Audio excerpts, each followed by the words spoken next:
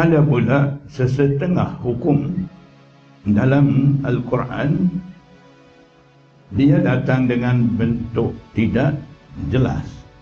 Dan juga maksud daripada kalimah-kalimah Al-Quran dan Al-Hadis itu susah untuk kita memahami disebabkan terlalu ringkas ataupun ada dalil-dalil yang bercanggah dengan hukum ahkam itu.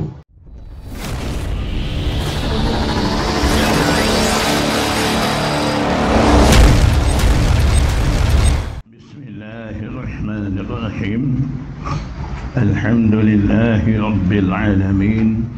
والصلاة والسلام على أشرف الأنبياء والمرسلين وعلى آله وصحبه أجمعين الحمد لله dengan limpah kurnia Allah Subhanahu wa taala kita dapat semayang zuhur berjemaah. Kemudian Allah Subhanahu wa taala bagi taufik pada kita supaya kita sambung sesi pengajian kita hari ini. Pada petang ni kita akan sambung bahagian kedua daripada buku kekeliruan dan ikutan sebenar ni bahagian kedua ikutan sebenar. Tadi tadi dah pun bagi tahu eh, sebuah sedikit ringkasan daripada buku bahagian pertama tu. Daripada situ mungkin kita boleh bayang eh, apa sedang berlaku kekeliruan dalam masyarakat umat Islam? Dengan membawa slogan sedap amal Quran sunnah jangan ikut eh, imam-imam madhab jadi memang eh, setiap orang Islam ni wajib mentaati Allah dan Rasul. Tapi adakah seseorang dia nak tahu terus hukum ahkam daripada Allah Subhanahu wa taala dan juga perkara-perkara yang diridai Allah tu? Begitu juga sekarang kita ni nak ambil ilmu terus ilmu hadis daripada Rasulullah sallallahu alaihi wasallam berkaitan dengan hukum ahkam Allah Subhanahu wa taala. Jadi jawapannya tidak mungkin. Jadi tidak ada cara lain bagi kita melainkan kita mengikuti Al-Quran dan As-Sunnah. Memang begitu. Jadi setiap eh, orang Islam wajib mentaati Allah dan Rasul dan juga wajib mengikuti Al-Quran dan As-Sunnah. Tapi perlu kita faham dalam Al-Quran ni hukum ahkam terkandung dalam Al-Quran ni bahagi kepada dua bahagian. Pertama, hukum ahkam yang Allah Subhanahu wa taala wajibkan kepada kita. Hukum ahkam tu kalau kita baca, kita belajar, ambil tahu boleh kita faham dengan cara mudah. Di situ tidak ada eh, maksud-maksud yang tidak jelas ataupun terlalu ringkas sampai susah kita nak faham tidak ada. Contohnya ada hukum daripada Allah Subhanahu wa taala hukum kefarduan sembahyang puasa haram melakukan zina dan sebagainya perintah-perintah seperti itu dan larangan-larangan seperti itu. Bila kita baca dalam Al-Quran dan Al-Hadis mudah faham. Ha, di situ tidak perlu banyak penjelasan dan huraian untuk kita faham. Tapi ada pula sesetengah hukum dalam Al-Quran dia datang dengan bentuk tidak jelas dan juga maksud daripada kalimah-kalimah Al-Quran dan Al-Hadis itu susah untuk kita memahami disebabkan terlalu ringkas ataupun ada dalil-dalil yang bercanggah dengan hukum ahkam itu. Jadi, saya akan kemuka dua contoh ayat Quran pertama. Itu dah ada di muka surat 77 nak bagi fahamnya di situ dalam Al-Quran ada kalimah yang mempunyai lebih daripada satu makna jadi macam mana di situ kita mau menentukan satu makna untuk kita beramal ataupun menentukan hukum daripada kalimah itu. Dan yang kedua saya akan bagi contoh berkenaan dengan dua hadis bercanggah. Jadi yang mana satu hukum daripada dua hadis itu kita mau pegang, mau amal jadi daripada dua contoh tu kita akan nampak betapa susahnya untuk kita buat keputusan ha, pada hukum-hukum seperti itu tidak mudah faham seperti perintah semayang, ha, puasa, zakat, larangan zina dan sebagainya. Seperti bahagian pertama tadi ada dalam Al-Quran wal mutallaqatu yatarabbasna bi anfusihinna salasata quru. Kalimah قروء dia tu jamak mufrad dia karun. Karun ada dua makna. Haid datang bulan wanita datang bulan. Dan juga suci daripada darah haid. Dua makna berlawanan dua-dua ada dalam kalimah. Tu? Persoalannya sekarang ni yang mana satu makna yang hendak ditentukan bagi kalimah huruf itu. Boleh tak kita mau tentu dengan adanya dalil-dalil sebab apa kita ambil nah, makna tu? Kita tak mampu. Kalau imam-imam mujtahidin seperti Imam Syafi'i, Imam Abu Hanifah mereka lah ha, boleh tentu tempat-tempat seperti ini dengan adanya banyak jenis bidang ilmu ha, yang mereka menguasai. Imam Syafi'i pada ayat ini dia ambil makna suci. Jadi saya akan bagi faham? Kaedah apa ha, Imam Syafi'i guna di sini? Kalau yang dah belajar bahasa Arab kawaid nahu ha, mereka akan mudah faham. Kalau tidak tak apa juga dengar. Kita akan nampak betapa hebatnya imam-imam buat putusan di situ. Berdasarkan kawaid dalam ayat Quran tu ada salah satu kuru. Salah satu adat menyatakan bilangan kuru ni dinamakan ma'dud. Salah satu kalimah mu'annas hmm, bertambah serabut kepala kita. Tadi adat ma'dud dah.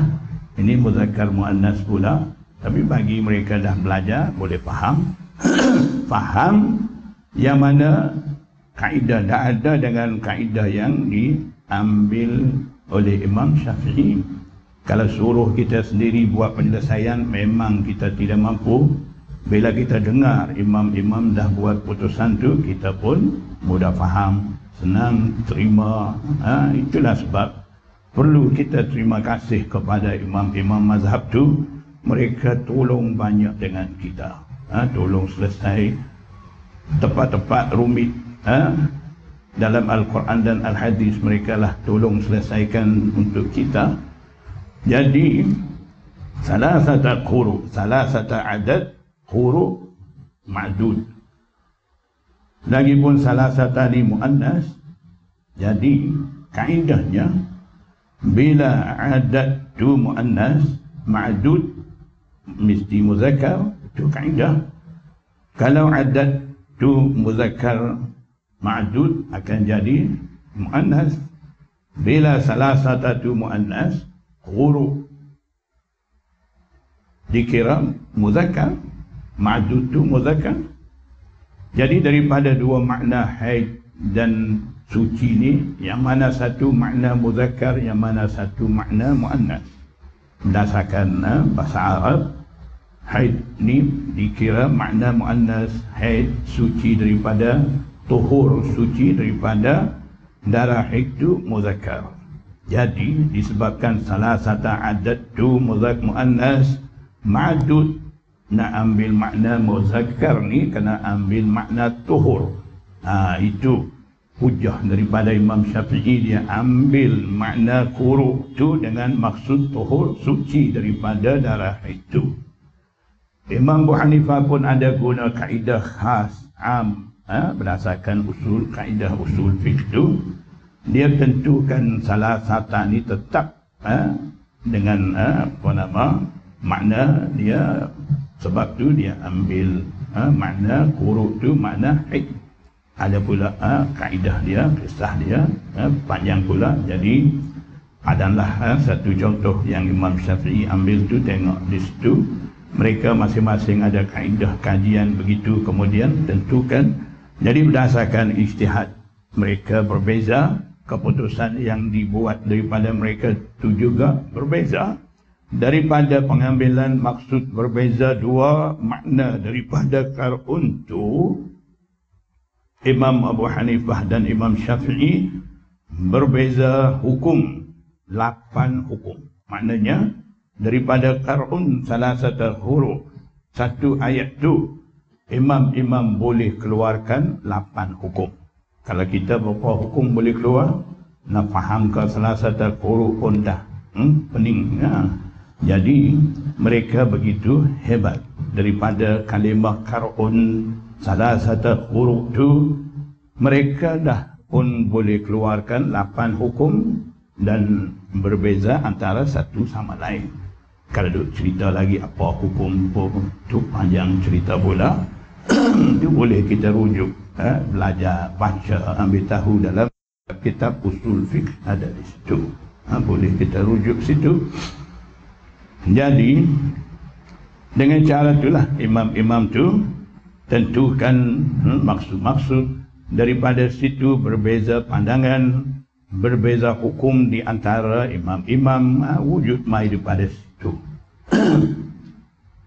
Jadi daripada situ kita boleh nampak berbezanya ijtihad di antara imam-imam ni punca daripada mana? Punca daripada kalimah-kalimah Quran tu mempunyai dua makna banyak makna. Ada ayat sama ayat bercanggah daripada penyelesaian seperti mana yang saya dah bagi tahu tadi. Ada berbeza pandangan satu sama lain. Punca daripada dalam Al-Quran dan Al-Hadis sendiri. Dah ada perbezaan-perbezaan tu daripada situlah mai uh, ikhtilaf a'immah berbeza pandangan di sisi imam-imam mazhab tu. Bukan imam-imam mazhab masa tu tak ada kerja apa saja cari pasal tu khilaf satu sama lain seronok dengan mainan seperti itu. Tidak macam tu. Mereka sibuk habiskan masa kehidupan kita dengan usaha ijtihad dan sebagainya untuk memudahkan umat Islam akan datang tu. Itulah sebab saya kata kita perlu terima kasih kepada alim ulama dulu imam-imam mazhab dulu. Bukan kita mau caci maki dengan mereka dengan hanya ada ilmu sedikit ada pada kita ni.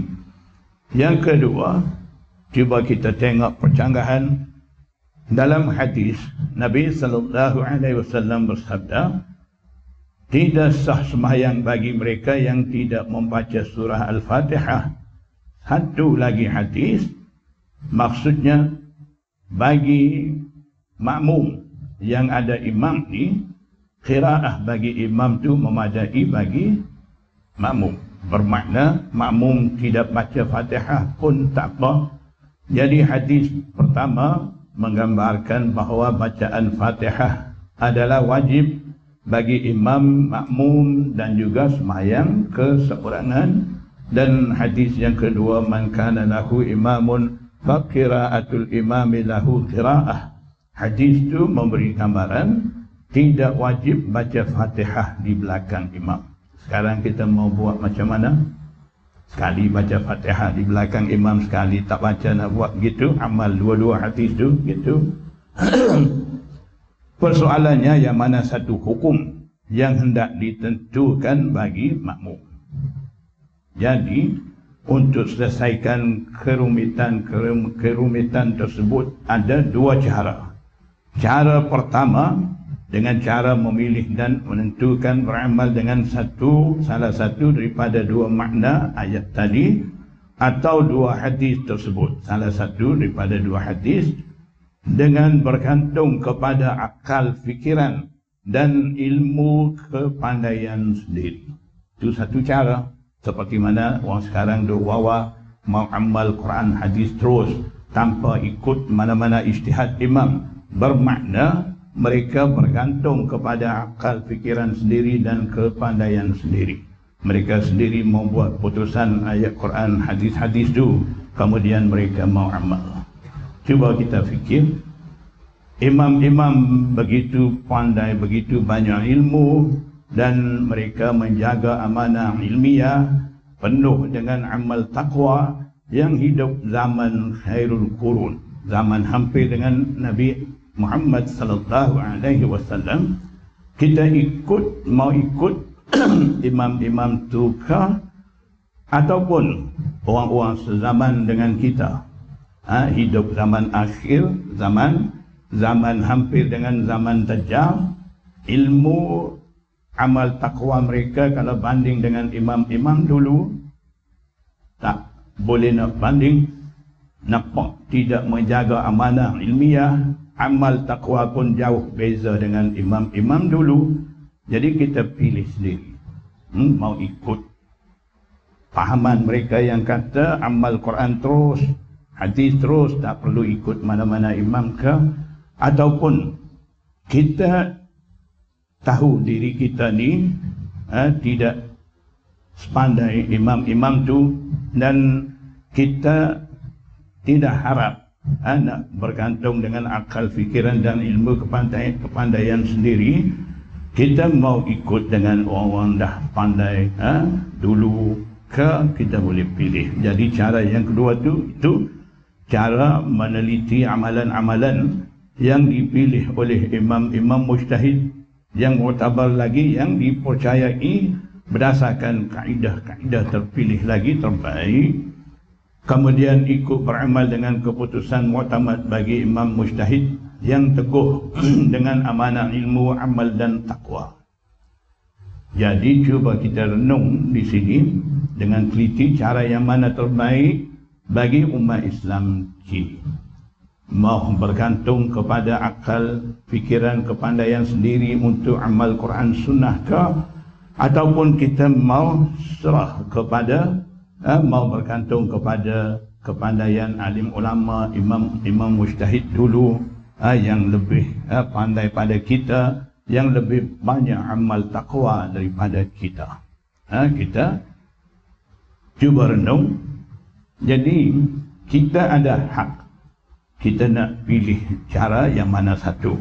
Jadi jangan kita kata orang mau amal Quran sunnah tak mau ikut ijtihad imam. Mereka ni bodoh salah jangan kata begitu. Mereka ada hak. Ha, boleh mereka nak pilih cara tu, nak amal dengan cara tu pulang pada mereka. Tak perlu kita salahkan satu sama lain. Cuma kita nak fikir cara yang mana sesuai dengan kita. Jadi nampaknya cara pertama ni agak rumit dan bahaya. Sebab apa? Dengan hanya ada ilmu sedikit ada pada kita ni, kita tak mampu nak selesai. Ha? Tempat-tempat rumit. Begitu banyak ha, tempat kita akan jumpa dalam Al-Quran ayat Quran sama ayat Quran bercanggah. Kadang kita baca Al-Quran dalam juzuk saya kulus sufaha. Muka surat tu ada ayat walillahil masyriqu wal maghrib fa aina ma tuwallu fa thamma wajhullah dan milik Allah Subhanahu wa taala timur dan barat. Di mana sahaja kamu menghadap di situ ada wajhullah. Jangan terjemah muka Allah pula. Maksud di situ wajhullah ay qiblatullah. Di mana sahaja kamu menghadap di situ ada kiblat Allah. Maksudnya mana-mana pun boleh kita menghadap sembahyang nanti sembahyang asal separuh paling koni separuh sana separuh situ separuh sini. Nanti orang mai tanya jawab baca ayat tu walillahil masyriqu wal maghrib fa aina ma tuwallu fa thamma wajhullah. Ada ayat Quran. Bolehkah? Siapa berani? Seorang pun tak berani kan? Satu ayat lagi di muka surat saya kulus sufahat juga di bawah ayat tu. Fawalli wajhaka syatral masjidil haram. Hendaklah engkau paling muka engkau kepada masjidil haram baitullah kaabah tu. Dua-dua ayat Quran. Di satu muka surat juzuk saya kulus tu faham bercanggah maksud. Macam mana kita mau selesai? Bolehlah jawab eh? sekarang ni sebab imam-imam dulu dah buat selesai kan? Kalau imam-imam tak buat selesai lagi dulu kita sendiri nak selesai.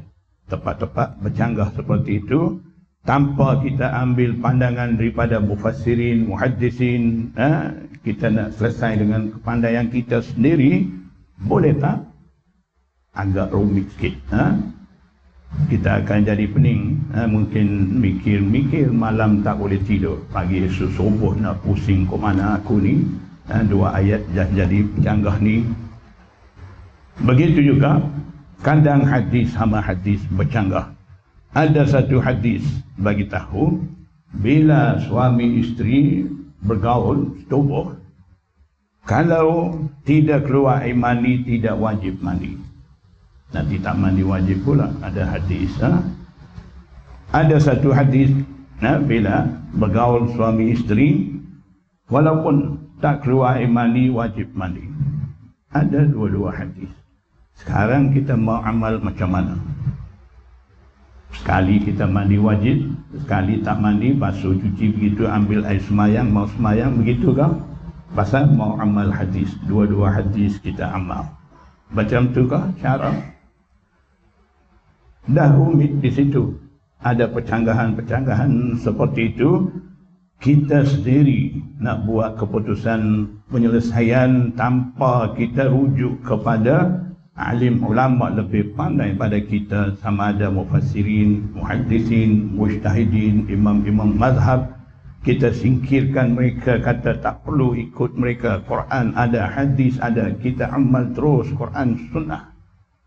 Boleh tapi masalahnya begitulah. Cara seperti itu agak rumit dan bahaya. Beberapa kemungkinan yang boleh mendorong ke arah kesesatan. Ha, dengan ha, cara itu kita sendiri akan keliru akan sesat ha, perkara itu akan datang kepada kita oleh kerana satu perkara yang tidak dapat disangkal oleh mana-mana individu.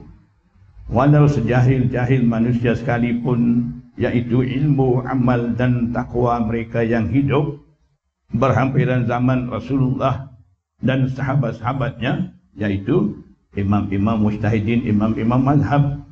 Ilmu amal takwa mereka lebih tinggi dan mulia berbanding dengan ilmu amal dan takwa mereka yang hidup berhampiran dengan zaman dajjal zaman kita sekarang ni.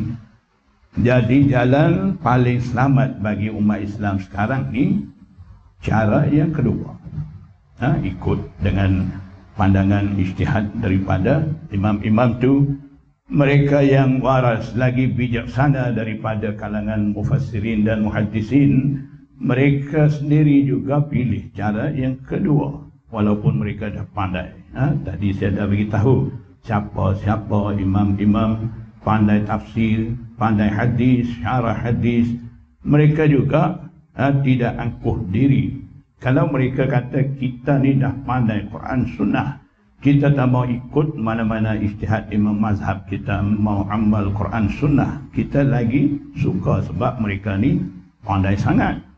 Orang sekarang duk kata kita tengok dia pun tak berapa pandai. Ha, dia sendiri pun duk keliru dalam bidang hadis. Ha, banyak tak betul ada. Jadi macam mana kita mau harap orang sekarang ni? Ha, banding dengan imam dulu. Jadi mereka yang ha, dah lalu zaman dulu ha, imam-imam begitu pandai dalam bidang Al-Quran dan Al-Hadis mereka ha, memandang diri ha, rendah ha, dan mereka anggap diri mereka ni sebagai orang masih belum layak untuk menceburi dalam bidang ijtihad tu. Jadi siapa-siapa imam-imam tu ha, Tadi pun saya dah sebut tak perlu ulang ha, Rugi masa kita di muka surat 79-80 Ada nama-nama tu. Jadi ikutan seperti itulah Dinamakan taklid. Ha, Orang sekarang ni mereka pantan ha, Bunyi taklid ni mereka allergic. Ha, Tak boleh terima. Ha, Tak suka. Kenapa mau taklid-taklid ni Quran kan ada, hadis kan ada, kita amal sendirilah. Kenapa mau ikut imam tu imam ni tak payah taklid? Ha, begitu. Jadi, kalaulah tak perlu taklid, Quran hadislah kita amal. Cuba kita tengok, sahabat-sahabat jangan tengok imam-imam lagi. Kita pergi lebih tinggi daripada imam-imam tu. Sahabat-sahabat sahabat-sahabat ni mereka lah menyaksi turunnya wahyu daripada Allah Subhanahu wa taala di hadapan mata mereka. Rasulullah SAW sedang tidur di atas paha Sayyidina Ali turun wahyu beratnya paha Sayyidina Ali kata sampai nak patah rasa begitu hmm? beratnya turun wahyu ha? tanggungan Rasulullah SAW sampai bersimbah peluh sahabat nampak keadaan itu sendiri. Kejadian-kejadian ada kaitan latar belakang ayat-ayat itu turun. Ada di hadapan mata-mata sahabat. Ha? Sebab tu, sebab ni. Kerana kejadian tu, kejadian ni, ayat ni turun. Ada sahabat. Ayat ni turun sebab aku. Mereka lebih dekat dengan wahyu Al-Quran mereka sendiri dengar sabdaan Rasulullah SAW mereka sendiri lihat amalan akhlak Rasulullah sallallahu alaihi wasallam. Jadi mereka lah lebih layak beramal dengan Al-Quran dan As-Sunnah tanpa merujuk kepada siapa-siapa. Sebab apa? Mereka bangsa Arab. Al-Quran turun dalam bahasa Arab dengar saja Rasulullah SAW baca Al-Quran Al-Hadis mereka dah faham. Kita ni kena belajar lagi. Tu pun tak apa-apa faham lagi. Salah faham banyak. Ha? mereka dengar boleh faham sendiri. Adakah sahabat-sahabat semua dah jadi mustahid yang tidak perlu ikut mana-mana keputusan daripada sama-sama sahabat tu cuba kita kaji balik sejarah tu. Dapati di kalangan sahabat juga ada taklid. Macam mana dah berlaku taklid? Sama-sama dengar Al-Quran Al-Hadis terus daripada Rasulullah SAW tidak perlu bahas sahih ke da'if ke tak perlu. Sahih da'if apa semua tak bunyi pun zaman sahabat tu tak perlu tikai semua tu. Walaupun begitu di kalangan sahabat 124 ribu sahabat kajian daripada alim ulama sejak dulu dapati yang sampai peringkat mujtahid yang boleh keluarkan hukum ahkam daripada Al-Quran dan Al-Hadis ni hanya ada 135 orang lebih kurang tu. Yang lain hafal ayat Quran juga, hafal hadis juga, riwayat juga. Abu Hurairah lagi banyak sekali riwayat hadis. Tapi bila nak amal dengan Al-Quran dan Al-Hadis, kadang Abu Hurairah sendiri agak rumit dalam hadis-hadis yang dia sendiri duk riwayat ni dia terpaksa rujuk kepada Aisyah Abu Bakar As-Siddiq tanya Abdullah bin Mas'ud tanya Abdullah bin Abbas Abu Musa Al-Ash'ari dia pun tahu Al-Quran dan Al-Hadis terus dengar daripada Rasulullah SAW orang baik tanya hukum dia jawab. Kemudian dia kata pergi tanya lagi Abdullah bin Mas'ud. Kalau jawapan dia bercanggah dengan jawapan aku kamu ikut jawapan dia. Itulah taklid. Zaman sahabat lagi dah ada taklid ikut. Orang pandai yang tak pandai ikut orang pandai. Sama-sama dengar ayat Quran sama-sama terima hadis daripada Rasulullah SAW pun di kalangan mereka ada beza-beza. Kita ni dah jadi apa? Baru belajar sikit Quran hadis. Tak menguasai lagi pun. Boleh sebut sahih hasan maudhu tiga empat istilah tu. Mula kita kata tak payah ikut imam. Kita sendiri ikut Quran hadis boleh yang kita duk kata sahih dhaif hasan maudhu ni mai mana? Adakah Rasulullah SAW bersabda satu-satu hadis ini sahih ini dhaif ini maudhu ada bagi tahu kah? Tak. Siapa bagi tahu? Tadi saya dah bagi tahu kan? Imam-imam hadis bagi tahu. Dalam bidang hadis kita boleh taklid dengan imam hadis yang kata sahih dhaif hasan maudhu tu bidang ijtihad lebih rumit daripada bidang hadis pula kita angkat bahu kata tak perlu ikut imam mazhab tu. Kita sendiri boleh amal. Ha, belanggar macam mujtahid. Muhaddis dengan mujtahid ni tak sama. Di kalangan sahabat-sahabat sahabat sama-sama dengar Al-Quran dan Al-Hadis semua mufassir muhaddis belaka. Yang hafal hadis belaka. Mujtahid ada sikit saja. Bila kata mujtahid ya, hafal hadis pun pandai buat putusan daripada Al-Quran. Al-Hadis pun dia mahir. Tak sama mufassir muhaddis dengan mujtahid. Untuk mudah faham saya bagi satu contoh. Ada satu ketika Imam Ahmash dan Imam Abu Hanifah ada di dalam satu majlis. Contoh tu kisah tu dah ada dalam buku uh, untuk pengetahuan uh, ramai apa-apa yang saya cerita bagi tahun ni semua ada dalam buku ni. Uh, cuma tidak ikut buka surat. Takut lambat tak cukup masa jadi saya bagi tahulah uh, makum-makum tu bila balik rumah kalau masih uh, minat lagi boleh membaca perlahan-lahan daripada mula sampai sudah. Dengan apa yang saya sudah bagi faham tu insyaAllah akan faham ha? saya bagi fahaman tu kerana baca satu-satu ni tak cukup masa jadi kisah ni pun ada dalam buku ni. Imam Abu Hanifah dan Imam Ahmad satu masa dalam satu majlis ada bersama. Ketika tu orang aju soalan kepada Imam Ahmad. Imam Ahmad ni tu guru Imam Abu Hanifah. Dialah sampaikan hadis-hadis riwayat hadis-hadis kepada Imam Abu Hanifah dalam majlis tu guru ada anak murid ada orang aju soalan tu guru lah. Tanya Imam Ahmad Imam Ahmad tak boleh jawab. Walaupun dialah lebih pandai hadis daripada Imam Abu Hanifah. Akhirnya Imam Ahmad serah anak murid dia Imam Abu Hanifah jawab. Kalau kita mau serahkan anak murid malu ha?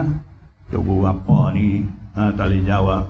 Kena suruh murid pula jawab saya rasa ha, gitu kan saya ingat macam ni lah ha, pakai tembak situ ha? jadi imam-imam dulu jujur menjaga amanah ilmiah ha? Kalau tahu, tahu, tak tahu, tak tahu. Itulah sikap mereka. Imam Abu Hanifah, ada orang mai tanya dia, dalam Islam, kenapa lelaki boleh kahwin empat, perempuan tak boleh? Imam Abu Hanifah mau jawab, tak dapat. Begitu bijak, eh, baca hadis, nampak ayat Quran, baca ayat hadis-hadis semua dalam otak. Kepala dia ada, soalan tu tak boleh nak jawab cari jawapan tak jumpa dia minta masa satu minggu baru nak jawab kalau kita saya rasa mau jawab selalu tanyalah ustaz ha? akan jawab semua. Imam Abu Hanifah ambil masa satu minggu. Imam Ahmad bin Hanbal orang aju soalan 130 soalan. Hanya dia jawab 30 soalan. Yang 100 lagi dia jawab juga. Jawapan dia la adri la adri saya tak tahu saya tak tahu. 100 jawapan ha? Itulah sikap menjaga amanah ilmiah daripada imam imam muktabar tu tak sama dengan kita. Jadi bila imam Ahmad serah imam Abu Hanifah jawab imam Abu Hanifah jawab serta merta dalam majlis tu. Imam Ahmad heran. Dia tanya imam Abu Hanifah daripada sumber mana engkau ambil jawapan-jawapan yang engkau bagi ni Imam Abu Hanifah baca hadis-hadis yang dia terima daripada Imam Ahmad. Maksudnya daripada hadis-hadis itulah dia isytihad dan bagi keputusan. Jadi Imam Ahmad kata cukuplah baca tu. Aku riwayat engkau dalam masa 100 hari dia pun dah ingat balik dia riwayat tu. Kau pula nak baca habis dalam satu majlis tu. Ha, begitulah imam-imam dulu. Jadi maksudnya Imam Ahmad ni muhaddis dia pandai hadis. Dia hafal hadis. Dia boleh sampaikan riwayat hadis kepada Imam Abu Hanifah. Tapi tidak ada kebolehan ijtihad dengan dia. Bukan kata kita boleh sebut Quran sunnah sahih dhaif tu kita dah jadi mujtahid. Ha? bukan begitu. Ini kebolehan istimewa. Allah bagi kepada orang-orang tertentu ha, sahabat-sahabat pun hanya ada 135 orang yang dah jadi mujtahid. Di kalangan alim ulama sezaman dengan Imam Abu Hanifah ramai alim ulama. Semasa dengan Imam Syafi'i ramai alim ulama. Semua dah jadi mujtahid kah? tidak. Zaman Imam Abu Hanifah Imam Abu Hanifah mujtahid. Alim ulama lain ikut ijtihad dia. Zaman Imam Syafi'i Imam Syafi'i muncul sebagai mujtahid alim ulama lain muhaddisin lain ikut dengan ijtihad dia. Itu dah nampak ha? bayangan-bayangan tu daripada penyampaian saya tadi. Jadi Imam Amash muhaddis Imam Abu Hanifah mujtahid. Bila kata mujtahid dengan sendiri dia tu muhaddis juga. Jadi cara uh, mereka ni begitu taklid ha, satu sama lain. Kita sekarang ni musuh dengan nama taklid tu. Ha, bila dengar taklid kita tak sedap dengar ha, pahit telinga kita kenapa mau taklid?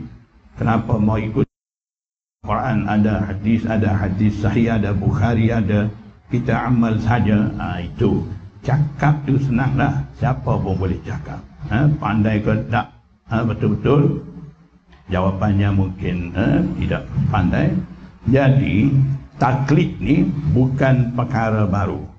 Dah pun ada zaman sahabat lagi. Sahabat sama satu sama lain yang tak pandai nak keluarkan hukum walaupun dah hafal hadis banyak ayat-ayat Quran dah hafal seperti Abu Hurairah banyak eh, hadis-hadis dialah riwayat tapi kadang-kadang dia perlu tanya balik kepada Aisyah kepada Abdullah bin Mas'ud, kepada Sayyidina Ali, kepada Abdullah bin Abbas dan lain-lain sahabat dibilang mujtahid di kalangan sahabat itu.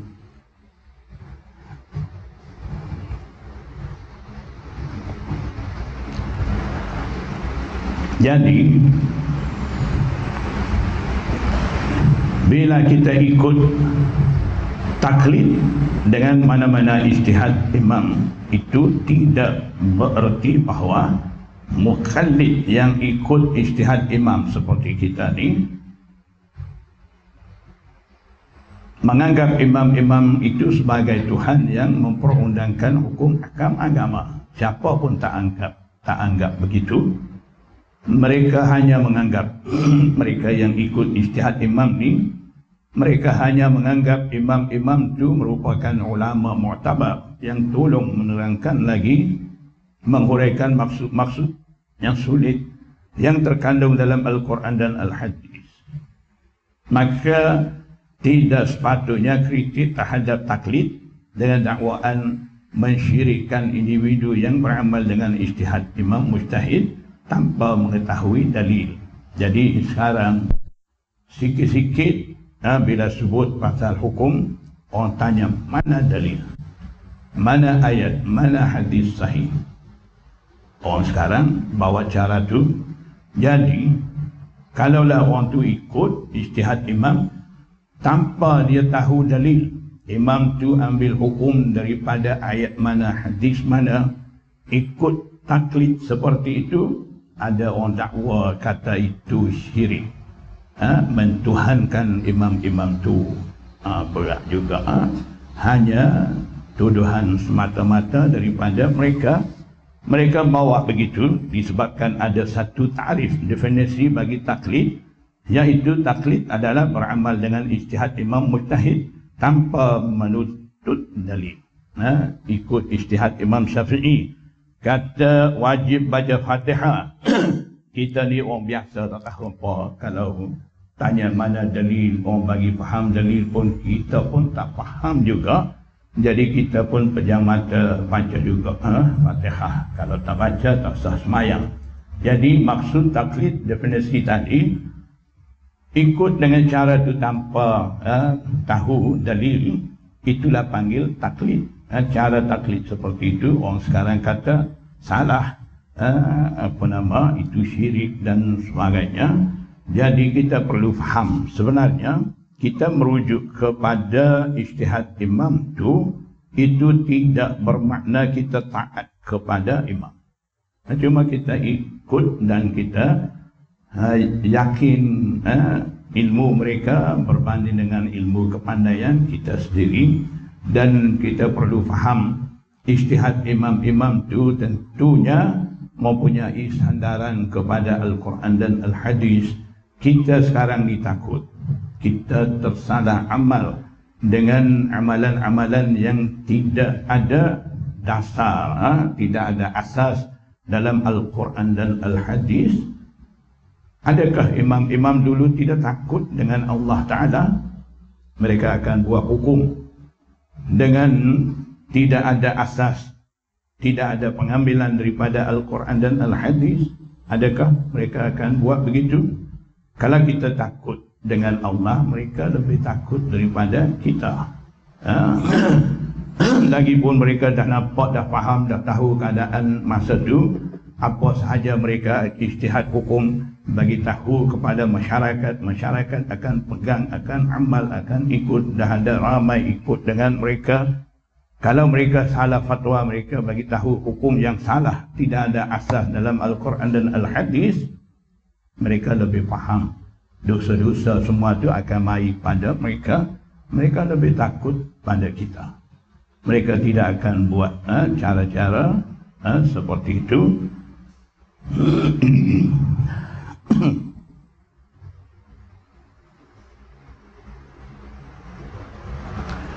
Disebabkan terkadang orang ikut istihad imam tu dia tidak mampu mau menilai dalil-dalil. Seperti tadi lah baru saya bagi tahu berkenaan dengan salah satu kurukan huruf ha, karun adat mahdud lah muzakkar muannas lah macam-macam. Ada di situ baru sikit baru itu dalil. Kenapa Imam Syafi'i ambil tuhur makna di situ? Satu dalil. Jadi sesetengah orang bila dia nak tahu hukum dia tidak minta dalil. Sebab apa? Kalau bagi tahu dalil dia pun tak faham. Ha, sabut kepala dia. Bagi tahu dalil pun hukum tu juga. Tak bagi tahu dalil pun hukum tu juga. Sama. Pada nak pening pala baik tanya apa hukum di sini amal lagi senang. Lagi pun percaya yakin dengan amanah ilmiah pandaian amal takwa imam-imam tu jadi orang turut istihad imam mereka tidak mampu mau nilai dalil-dalil tu. Mereka tidak minta ha, dalil-dalil bagi hukum yang diistihadkan oleh imam tu. Seperti mana? Ramai-ramai. Contoh kata ikut mazhab syafi'i.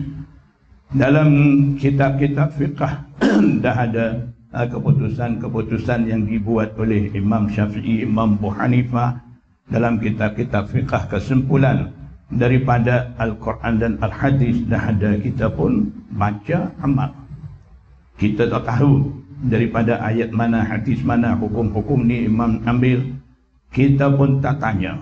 Tanya pun kita pun tak faham. Ada, dah ada dalil-dalil itu bukan kata tak ada. Imam Nawawi dah tulis satu kitab majmuk.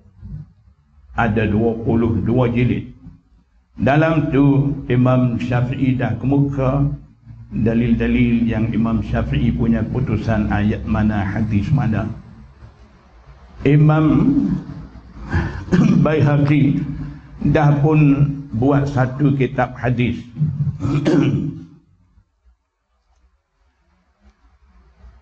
Tebal tiga jari, sebelah jilid. Ha? Imam Baihaqi punya Sunan Kubra Al-Bayhaqi Tiga jari tebal sebelah jilid.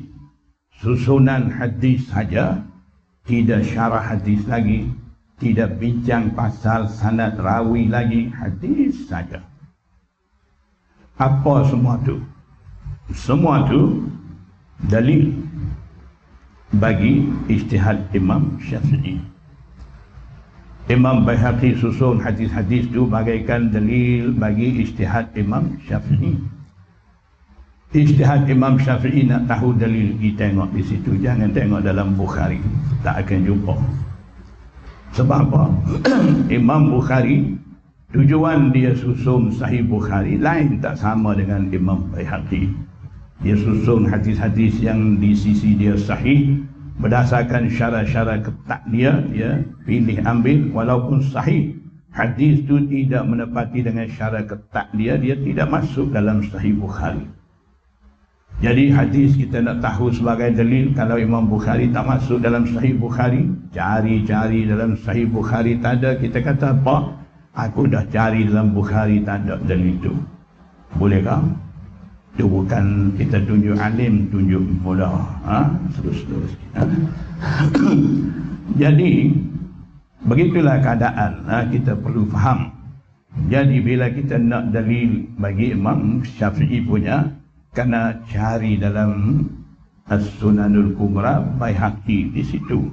Sampai alim ulama wujud kemudian daripada Imam Bayhaqi, mereka kata, Kitab As-Sunanul Kubra Al-Bayhaqi ini bagaikan bayang Imam Syafi'i. Nak tahu dalil-dalil hujah-hujah istihad Imam Syafi'i kita tengok di situ. Begitu juga dalam mazhab Hanafi kitab yang dikarang oleh ha, Imam Tahawi satu kitab begitu juga cara dia seperti Imam ha, Baihaqi Syarhu Ma'anil Athar kitab tu. Semua dalil-dalil keputusan Imam Abu Hanifah diisi dalam tu. Kalau kita nak tahu dalil dicari di situ jangan duk masyhur dengan Bukhari satu sahaja. Kita tengok dalam Bukhari tak ada. Kita kata Imam Abu Hanifah buat putusan tak ada pun dalam hadis sahih itu mai mana. Ha, jangan begitu. Kadang-kadang kita banyak buka mulut ni ha, banyak ha, menunjukkan kemudahan kita nanti orang tahu ha, kita ni tanpa ada ilmu duk cakap besar jadi baik duk diam-diam ha. kita cari ha, ilmu dulu. Jadi bila dah pandai orang tu tak akan cakap begitu. Itulah Syekhul Hadis Maulana Zakaria Al-Kandalawi kata makin lama belajar makin lama mengajar hadis makin banyak menulis syarah-syarah hadis makin itulah saya nampak kebenaran dalil-dalil imam-imam mazhab tu jadi no comment duk komen ni dia tak cukup ilmu. Sebab tu dia duk nampak salah sana salah sini. Sebenarnya bukan imam salah kejahilan kita. Ha? jadi pada kita nak mengaku kejahilan kita kita tuduh imam salah. Jangan kita bawa cara tu. Jadi kita nak tahu dalil-dalil carilah dengan cara tu. Tapi semua dalil-dalil tu bolehkah semua orang memfaham Kadang-kadang ustaz-ustaz sendiri pun pening kepala nak faham tu. Apa lagi awamun nas, orang biasa. Jadi kita buka cerita dengan orang biasa, orang ramai dalam seminar, dalam penyampaian kita. Mesti hukum ahkam ni ada dalil. Minta dalil. Tanpa dalil kita amal ni tidak sah. Kalau macam tu orang tak tahu dalil, ha, dia belajar cara semayang apa semua yang dah ada dalam ha, fiqah. Imam-imam dah buat putusan tu tanpa mereka tahu dalil doa amal ni selama ni amalan-amalan mereka ni tidak sahkah? Ha, itu perlu kita fikir. Jadi, yang tidak mampu ha, nak nilai dalil, bagi mereka tidak perlu. Sahabat-sahabat sendiri pun, bila mereka tanya, apa-apa mereka tidak kepada Abdullah bin Mas'ud, Aisyah, Abdullah bin Abbas, Sayyidina Ali dan sebagainya, bila mereka aju soalan eh, sahabat-sahabat yang dah sampai peringkat mujtahid ni mereka jawab dengan dua cara. Kadang-kadang mereka bagi dalil uh, jawapan mereka.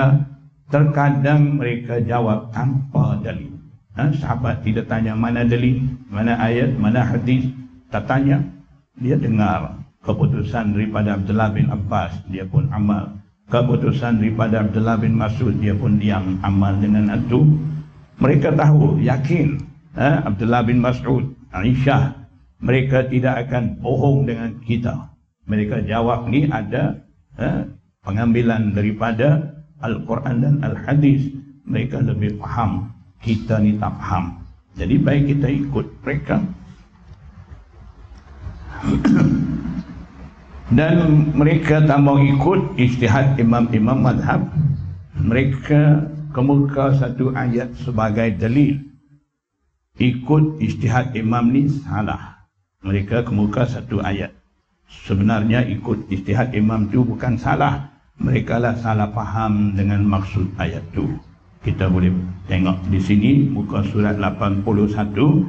Di situ ada ayat maksud dia dan apabila dikatakan kepada mereka turutlah akan apa yang telah diturunkan oleh Allah mereka jawab tidak Bahkan kami hanya menurut apa yang kami dapati datuk nenek kami melakukannya. Ha, dia banding kita dengan itulah. Suruh ikut Quran Sunnah. Kita kata kita ikut Imam Syafi'i. Jadi orang dulu pun suruh ikut Ma'anzalallah. Apa yang turun oleh Allah. Mereka jawab, kami ikut nenek moyang mereka. Mereka pergi banding di situ. Ha, kita ikut istihad imam dengan keadaan zaman dulu. Betul kau tidak? Kita tengok. Patutkah ha, maksud ayat Quran lagi? Patutkah mereka menurutnya sekalipun datuk neneknya itu tidak faham sesuatu apapun tentang perkara-perkara agama dan tidak pula mendapat petunjuk hidayat daripada Allah. Jadi samakah nenek moyang mereka yang mereka ikut dengan imam-imam alim ulama yang kita ikut ni samakah? Sebenarnya mereka salah faham dengan ayat itu. Ayat ini kemukakan tentang taklid dalam bab iman. Dan mengancam kepada mereka yang paling terus daripada apa yang Allah turunkan dan pegang teguh dengan amalan-amalan nenek moyang mereka yang tidak berakal dan tidak diberi petunjuk. Ha, itu maksud daripada ayat Quran. Cuba kita faham imam-imam mujtahidin ni sama ke tidak dengan nenek moyang mereka mereka ikut tu imam-imam mustahidin adalah mereka yang waras lagi diberi petunjuk dan tidak berpaling daripada apa yang Allah turunkan maka tidak tidak ada kesalahan mengikuti ijtihad-ijtihad imam-imam mujtahidin imam-imam mazhab mazhab tu jadi banding. Ha, kita ikut ijtihad imam mazhab dengan uh, orang-orang dulu uh, mereka berpaling daripada apa yang Allah turun ikut uh, nenek moyang mereka yang salah dalam akidah kufur syirik. Uh, kita lagi banding di situ. Tak boleh. Ayat Quran itu betul. Tak salah yang kita faham tu tak betul dan kita pergi kait uh, dengan keadaan uh, orang Islam dengan ayat tu itu tak betul maksud ayat lain kita kibuh lain ha? tapi bila bunyi baca ayat Quran bunyi baca hadis kita pun rasa agak takut sikit ha? orang berdepan dengan kita ni dia baca ayat tadi dia pun dalil kata kamu salah dengan orang tu. Ha, istihad imam mazhab ni supaya orang tu tengok ayat Quran ada. Kita pun tak tahu apa ni tu diam-diam dengar saja. Ha? dia pun tak faham kita pun tak faham. Sama-sama tak faham menang dia sebab apa? Dia boleh baca ayat Quran. Kita ni dengar saja. Dia boleh baca hadis kita ni tak reti baca hadis dengar saja betul kau tidak maksud daripada hadis yang dia duk bawa duk boh dengan kita ni ada kadang-kadang ayat-ayat tawassul berkenaan dengan orang kafir tawassul dengan berhala-berhala ha, kita pun guna ayat tu hukum dengan orang, orang Islam tawassul dengan Rasulullah kata kafir musyrik. Betul kau tidak? Ha, begitu juga lah. Seperti bawa ayat tadi. Maksud ayat lain. Kita sendiri faham tak betul. Kemudian kita salahkan orang lain dengan menggunakan ayat tu ataupun hadis-hadis. Kemudian anggap diri ni amal Quran sunnah orang tidak sefahaman dengan kita ni sesat bid'ah. Nah, itulah sekarang sedang berlaku. Jadi daripada setakat yang saya dah bagi tahu ni, kita dah faham bagi kita walaupun kita ni orang biasa, ustaz, alim, syekhul hadis, muhaddis, mufassir, perlu juga kita ikut kepada ijtihad imam jadi kita perlu faham ha, taklid ni ada beberapa ha, cara. Jadi taklid terbahagi kepada dua. Taklid mutlak ataupun taklid ghaib syaksi di muka surat 82 iaitu tidak menentukan mana-mana imam mujtahid untuk mengikuti pandangannya bahkan pada satu hukum mengikuti pandangan seorang imam dan pada hukum yang lain pula mengikuti pandangan imam lain. Nah itu satu cara.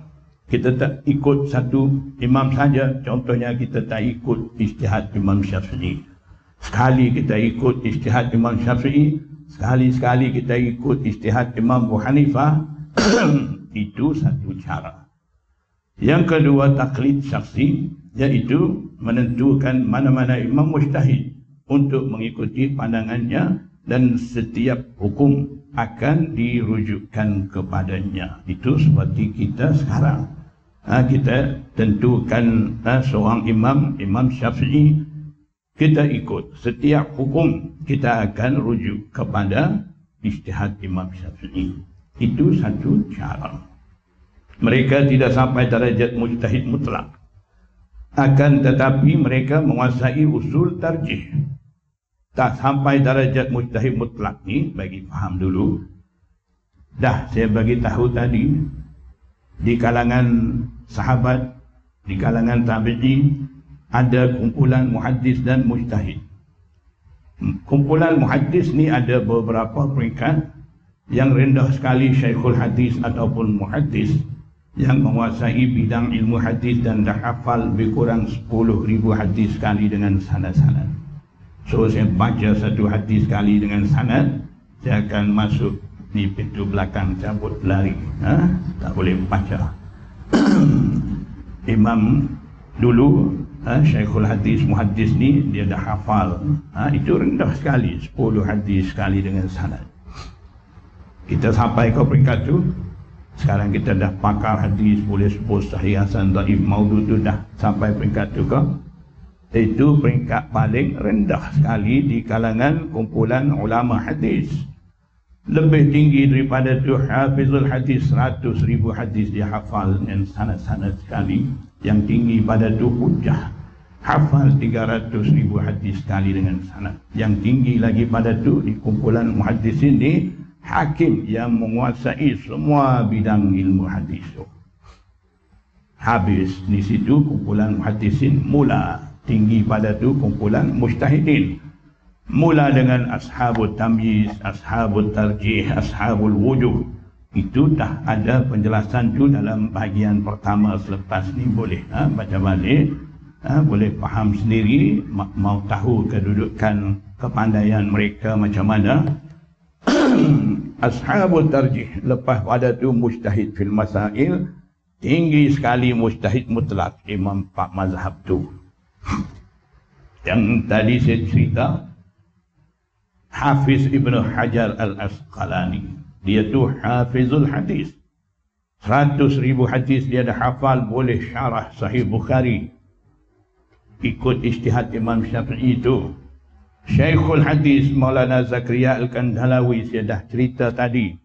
Pandaian dia syarah kitab-kitab hadis tu. Dia duduk mana? Peringkat paling rendah Syekhul Hadis Muhaddis duduk situ. Dia pun tak sampai lagi peringkat mustahib mutlak Imam Syafi'i Imam Abu Hanifah tu. Kalau kita ha, Imam-imam tu pandai sangat kita sanjung tinggi letaklah atas langit nah. Syekhul Hadis Muhaddis yang rendah sekali tu bagilah tepat di atas muka bumi ni. Kita duduk mana? Mana tempat kita bawah bumi lah tak ada tempat untuk kita. Jadi begitulah keadaan kita ni berbeza dengan uh, muhaddis mustahid dan saduk angan-angan kita nak tunjuk lebih pandai pada Imam Mujtahid, Imam Syafi'i, Imam Hanifah. Yang rendah sekali Syekhul Hadis Muhaddis pun tak lagi.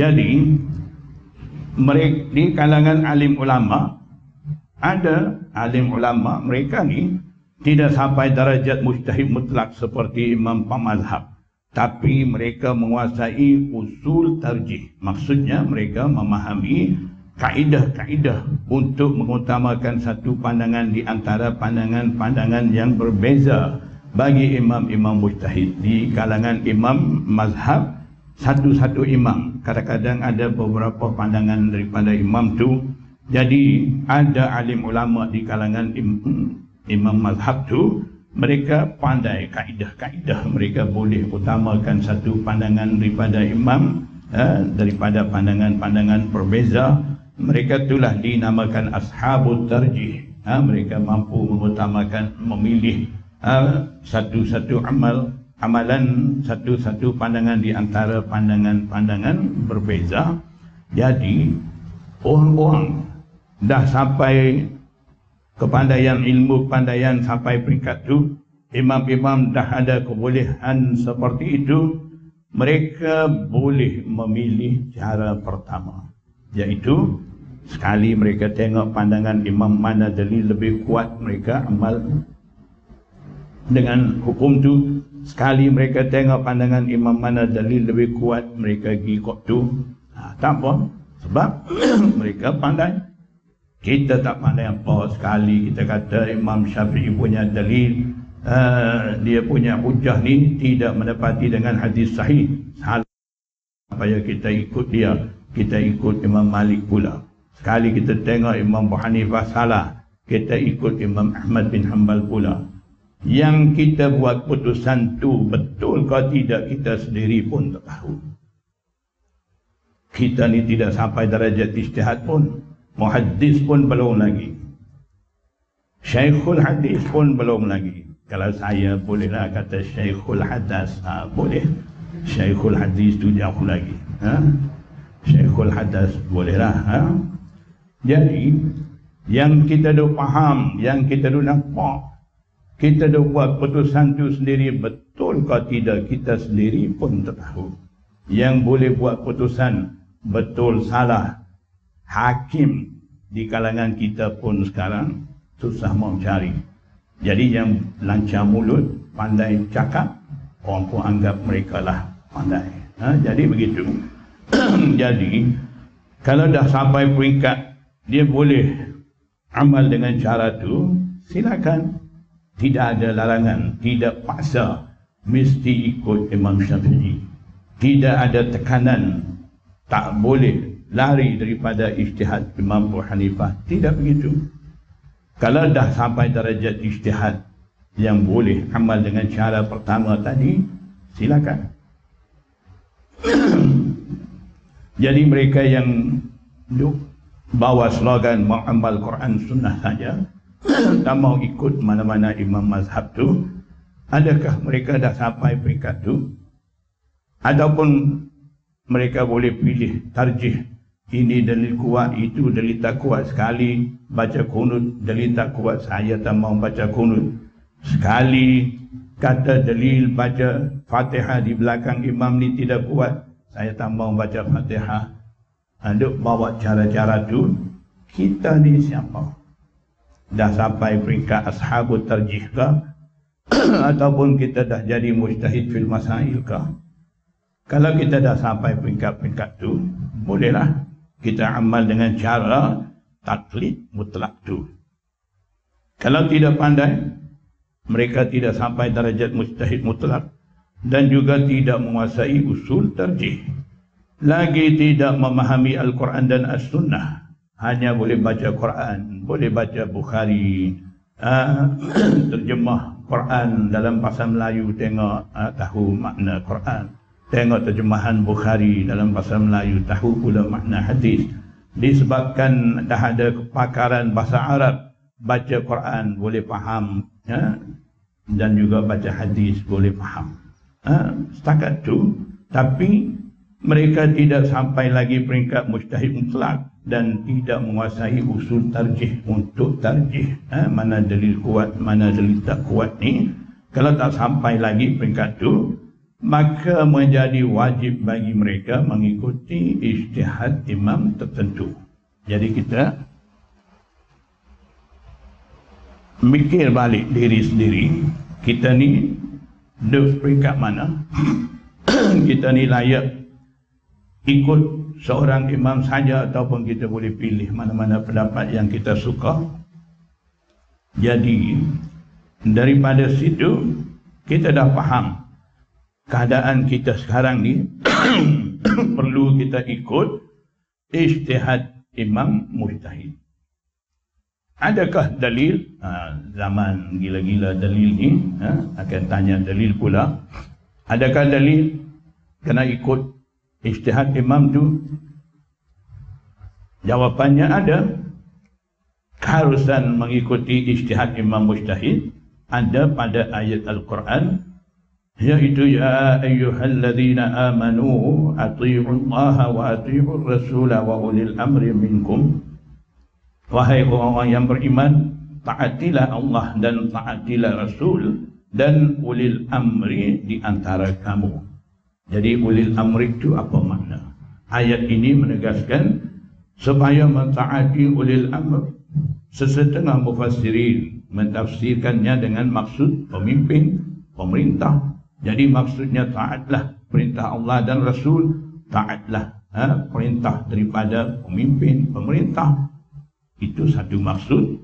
Akan tetapi sekumpulan besar mufassirin seperti Abdullah bin Abbas, Jabir bin Abdullah, Hasan Basri, Atha' bin Abi Rabah, Atha' bin As-Sa'ib dan Abu Abu Aliyah Mufassirin mentafsirkan ulil amr dengan maksud ulama mujtahidin. Imam-imam mazhab itulah. Maka nyatalah mengikuti imam mujtahid, imam mazhab itu menepati dengan hukum syarak dan tidak bercanggah dengan Al-Quran dan As-Sunnah. Bahkan menepati dengan kehendak sahabat-sahabat. Ha, sahabat-sahabat di kalangan sahabat pun ha, mereka ikut dengan cara-cara itu seperti mana dah saya bagi tahu tadi. Dan juga itu keharusan eh, mengikuti ijtihad imam dalil ayat Quran. Dan ada satu lagi keharusan mengikuti eh, imam-imam yang bijak eh, oleh mereka yang kurang pandai ini ada juga hadis dalam sahih Bukhari. Mereka kata nak amal eh, sahih Bukhari tapi yang ada dalam sahih Bukhari pun tak faham. Ha, kalau faham ni, mereka tidak akan kata jangan ikut istihad Imam Madhab. Ha, nampaknya tak faham lagi. Ha, hanya boleh sebut sahih Hasan, Taif, Maudu, Amal, Sahih. Ha, taif tinggal, Maudu jangan amal, duk bawa. Lebih kurang tu. Pandai kau tidak Bukhari tu betul-betul. nampaknya belum lagi kalau pandai tidak bawa pahaman-pahaman tu cuba kita tengok apa dalam Bukhari dalam kitab Sahih Bukhari pada kitab sembahyang kitab salat pada bab babur rajul ya'tammu bil imami wa ya'tammu nasu bil ma'mum. Di bawah tajuk bab ni Imam Bukhari memuatkan sebuah hadis. Ketika sahabat-sahabat datang lambat untuk semayang berjemaah Rasulullah SAW bersabda hadis ni dengan tujuan memberi galakan supaya datang awal dan semayang pada saf pertama. Potongan hadis Iktammu bi wal ya'tamma bikum man ba'dakum di bawah bab tu mempunyai dua maksud di sisi muhaddisin. Pertama, sahabat-sahabat yang ada pada saf pertama memerhati cara semayang Rasulullah SAW dan menuruti cara yang sama. Yang kedua, sahabat-sahabat perlu teliti dengan betul semayang Rasulullah SAW kerana kaum muslimin wujud kemudian daripada sahabat-sahabat akan turut taklid cara semayang sahabat. Nah itu taklidlah. Dalam kitab Fathul Bari Syarah Bukhari Hafiz Ibn Hajar dia dah pun tulis sambil syarah hadis ni dia kata ada ulama mengatakan maksudnya hadis ni hendaklah kamu mempelajari hukum ahkam agama daripada ku yakni daripada Rasulullah SAW dan pengikut-pengikut selepas kamu akan mempelajari daripada kamu dan begitu juga pengikut-pengikutnya terus menerus sehingga menghujung dunia. Maknanya taklid itu akan ada sampai kiamat. Maka nyatalah di sini bahawa mereka tidak pandai akan mentaklidkan kepada orang pandai dan mereka yang wujud kemudian akan mentaklidkan kepada mereka yang dulu. Jadi dah jelas ha? daripada situ taklid ni harus tidak salah.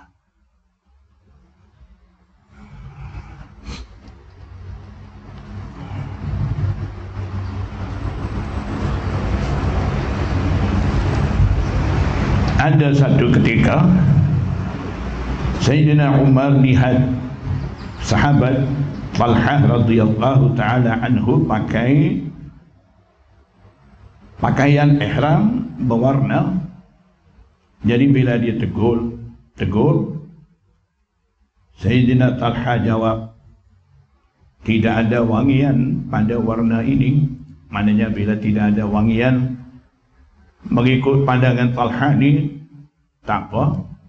Jadi Sayyidina Umar kata ketika itu maksudnya wahai jemaah di muka surat 86 kamu merupakan imam-imam yang akan diikuti orang ramai. Sekiranya seorang jahil melihat pakaian ini tentunya dia kata bahawa Talha bin Ubaidillah pernah memakai pakaian ihram dicelup warna maka janganlah kamu memakai sesuatu daripada pakaian-pakaian dicelup warna. Dicelup warna. Jadi maksudnya uh, Sayyidina Umar dia suruh uh, Al-Hani mengelak daripada pakai pakaian uh, ihram berwarna takut yang datang kemudian ni ikut cara dia. Daripada situ boleh faham Sayyidina Umar juga faham asal taklid itu. Ya, orang akan ikut ya, kepada orang pandai. Sahabat-sahabat ni akan jadi ikutan ya, bagi mereka akan wujud di ya, selepas daripada sahabat-sahabat itu.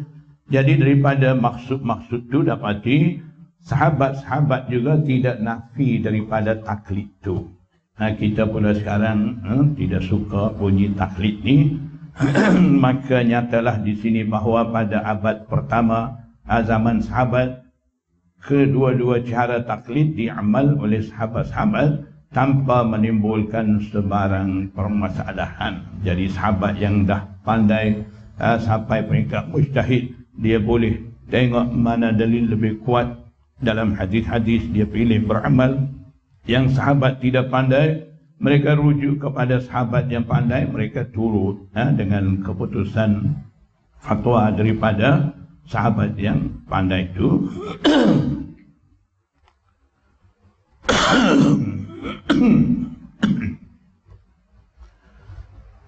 Golongan ulama yang wujud kemudian mereka membataskan taklid ni dengan syakhsi sahaja bagi umat Islam maksudnya kena ikut satu-satu ijtihad imam mazhab sahaja. Tidak boleh pilih-pilih eh, sekali pilih ijtihad imam Abu Hanifah kata dalil dia kuat eh, sentuh tabata. Dalil imam Abu Hanifah lebih kuat. Ha, dia pilih satu. Dalil tak baca kunut dalil imam Abu Hanifah lagi kuat. Dia pilih yang tu. Begitu juga daripada imam-imam lain lepas ni kita akan baca pandangan-pandangan imam-imam yang agak menghiburkan hati orang. Ha, mereka akan pilih. Jadi kalaulah buka pintu ha, amal dengan cara tu akhirnya hukum ahkam agama akan menjadi satu mainan hawa hawa nafsu bagi mereka yang suka memilih jalan yang mudah. Nah, mana mudah dia akan uh, ambil kemudian dia akan kata dalil bagi hukum tu lagi kuat. Dia sendiri pun tak tahu kuat tak kuat tapi dia akan kata ini dalil kuat pasal kena dengan kehendak nafsu dia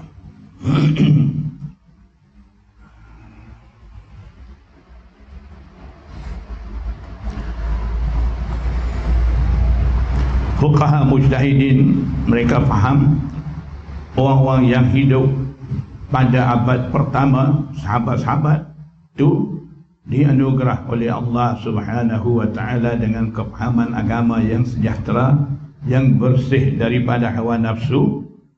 Maka tidak perlu bimbang bagi mereka bahawa mereka akan terlibat dengan keinginan-keinginan nafsu yang boleh merosak imej agama yang sejati sebab itu tidak menjadi masalah.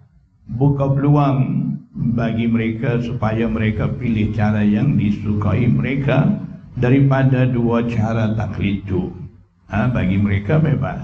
Sama ada mau pilih mana dalil lebih kuat mereka mau amal ke ha, Ataupun sekali ikut pandangan imam ni Sekali ikut pandangan sahabat itu ha, Tak apa bagi mereka. Mereka tidak akan cari yang mudah Ataupun yang ha, sama dengan keinginan nafsu mereka mereka tidak ada ha, sikap perangai seperti itu.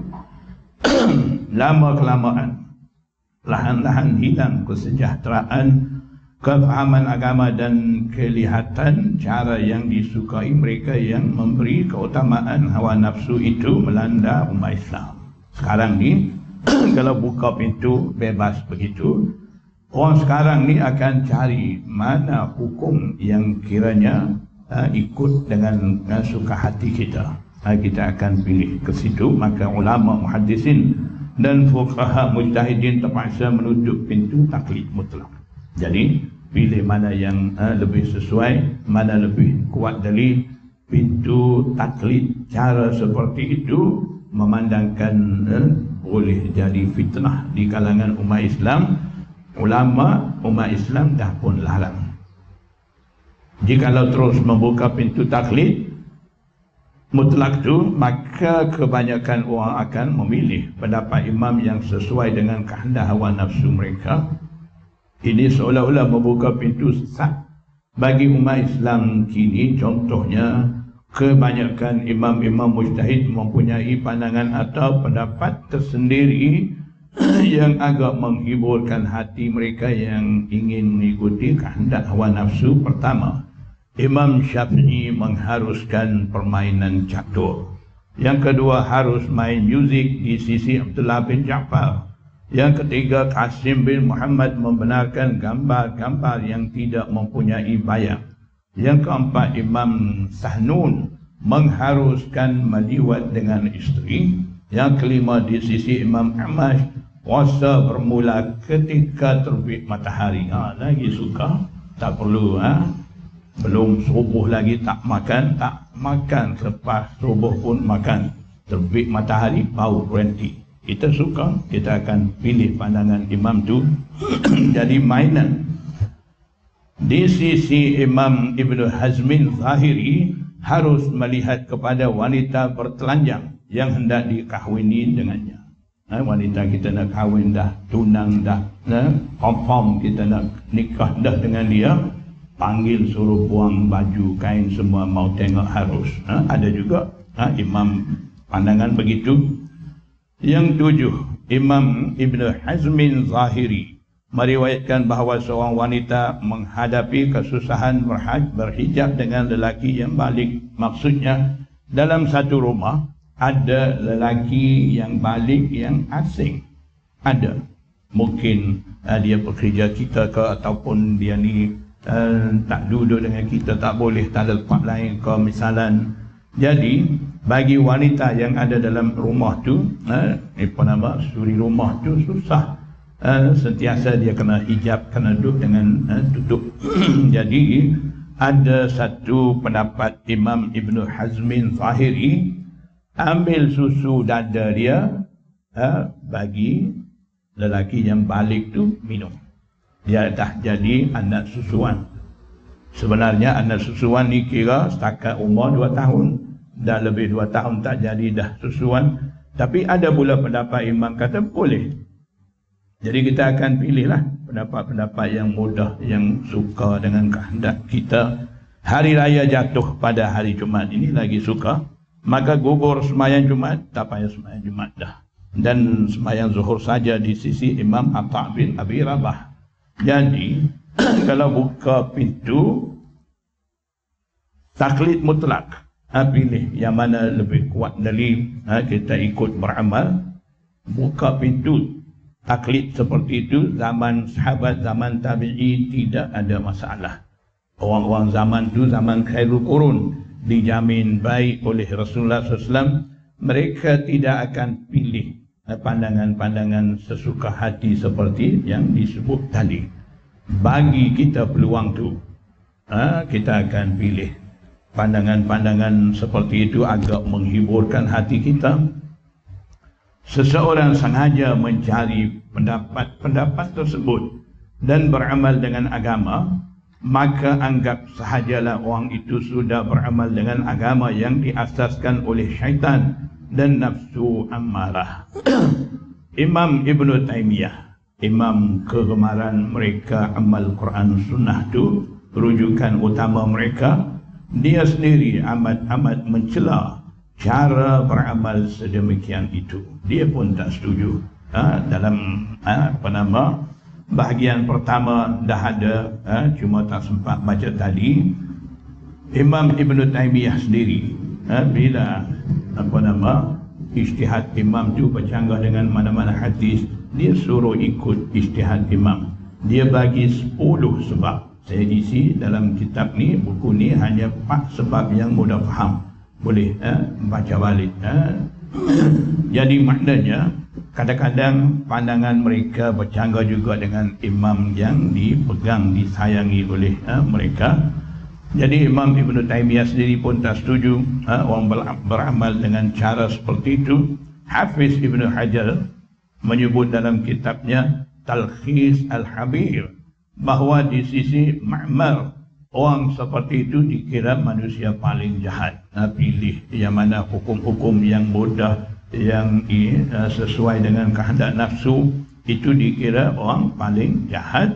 Sebahagian ulama salaf kata, Man akhada binawadiril ulama'i faqad kharaja minal Islam. Maksudnya sesiapa mengambil pandangan-pandangan aneh dari ulama maka dia sudah keluar dari daerah Islam memandangkan bahaya sedemikian itu kebanyakan ulama mewajibkan taklid syaksi seperti mana kita ikut Imam Syafi'i sekarang pada abad ke-21 ni.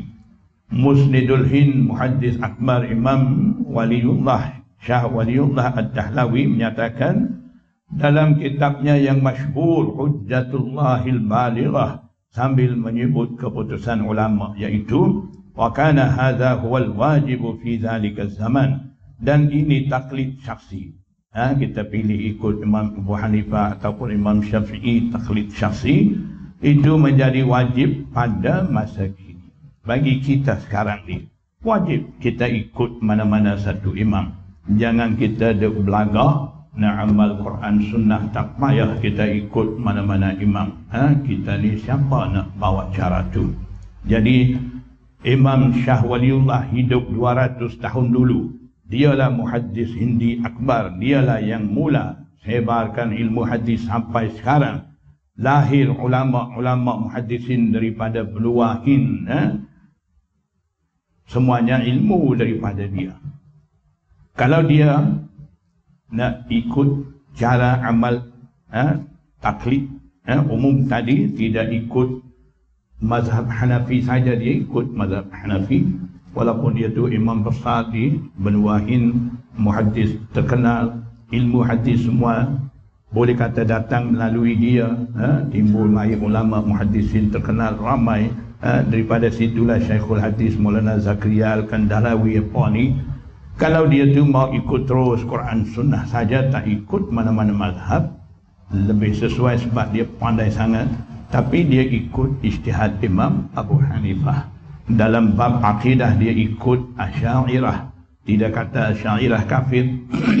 Jadi Imam itulah kata zaman kita sekarang ni wajib taklid syaksi. Maksudnya seperti kita sekarang ikut Imam Syafi'i. Kemungkinan besar anda fikir bahawa tam, kenapa menjadi wajib sedangkan perkara itu tidak menjadi wajib di zaman sahabat. Ha, kita ni pandai kan? Ha, pemikiran seperti itu soalan-soalan pelik-pelik seperti itu kita pandai. Ha, sebab kita nak buat juga cara ha, bebas. Tak mau ikut ha, satu imam mazhab saja.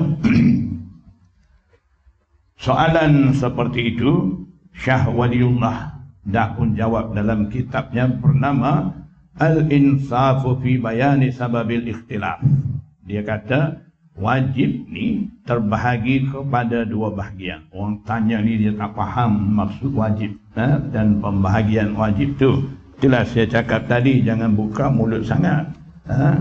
kita celupa mulut hmm? banyak cakap daripada situ nampak kejahilan kita ni kalau duduk diam dengan serban besar dengan jubah dengan janggut putih panjang ingat alim ha?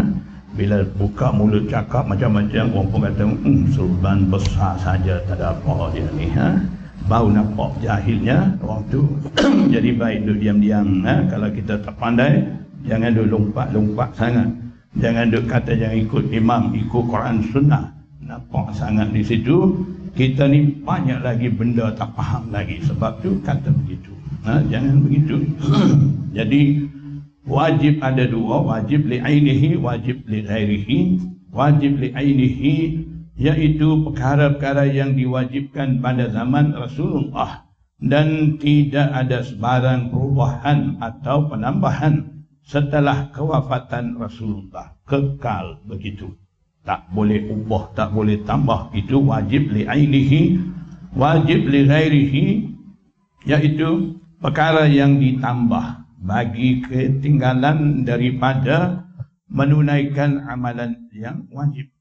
Dalam amalan yang wajib itu ada ketinggalan. Jadi yang datang kemudian disambung ataupun tambah sedikit di situ, itu panggil wajib li ghairihi, iaitu perkara yang ditambah bagi ketinggalan daripada menunaikan amalan yang wajib.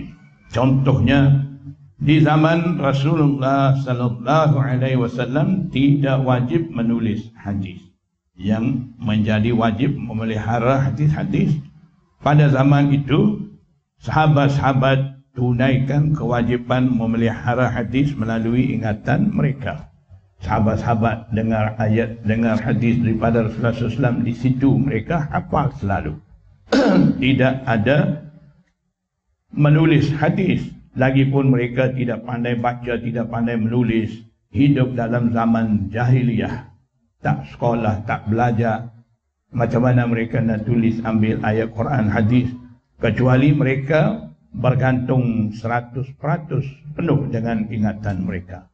Allah pun dah bagi mereka ha, ingatan kuat sebab mereka lah manusia terpilih untuk menyambung Al-Quran dan Al-Hadis kepada umat Nabi Muhammad SAW kepada hamba-hamba Allah. Jadi Allah dah pelihara mereka, dah bagi kekuatan ingatan. Ha, mereka boleh ingat. Jadi disebabkan mereka ha, ingatan kuat, bagi mereka tidak penting menulis hadis itu lama kelamaan. Di kalangan generasi wujud kemudian ternyata berlaku kekurangan ingatan sehingga kan tidak boleh bergantung sepenuh terhadap hafalan dan ingatan mereka. Ketika itu tidak ada cara lain untuk menunaikan kewajipan memelihara hadis malaikat menulis. Maka menulis hadis itu menjadi wajib. Wajib apa? Wajib li ghairihi. Mulanya tidak wajib di zaman sahabat sebab sahabat boleh jaga semua itu dengan ingatan mereka. Ha, kalau begitu menulis hadis menyusun kitab-kitab hadis ni tidak perlu sebab di zaman sahabat tidak ada. Kenapa Imam Bukhari buat Sahih Bukhari? Kenapa imam-imam hadis susun kitab-kitab hadis tu nak memelihara ilmu hadis tu. Kalau mereka tidak tulis, tidak menyusun kitab-kitab hadis, tidak tinggal dengan cara menulis hadis-hadis, eh, ayat-ayat Quran, sekarang kita nak baca Quran mana, hadis mana. Siapa nak bermain dengan ingatan eh, hebat sampai kita? Boleh harapkah? Payah juga kan? Ha, itulah zaman sebelum pemerintahan Sayyidina Uthman harus menulis Al-Quran melalui risam yang dikehendaki di antara risam-risam penulisan Al-Quran. Ada banyak eh, cara. Ha, daripada situlah kita mungkin pernah dengar ha, Maliki Yaumiddin, baca Maliki Yaumiddin, Yu'minuna bil ghaib, boleh baca Yu'minuna bil ghaib, Ah, hudan lil muttaqin boleh baca huda hudan lil muttaqin macam-macam ada waraslah apa bacaan-bacaan ha? risam-risam tulisan ha?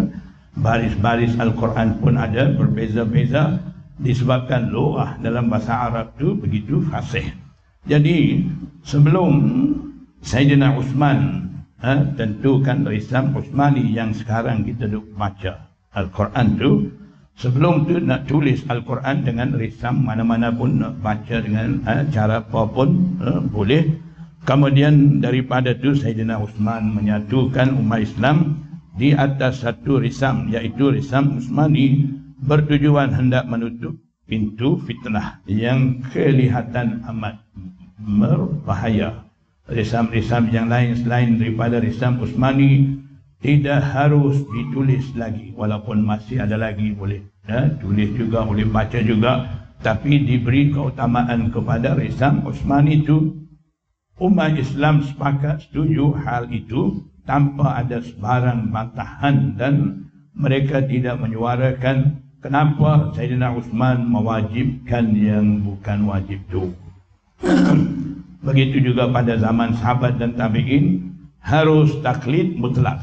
Ha, mau ikut imam mana-mana pun boleh tidak perlu ikut seorang imam saja ikut ha, harus taklid mutlak bagi yang bukan mustahid.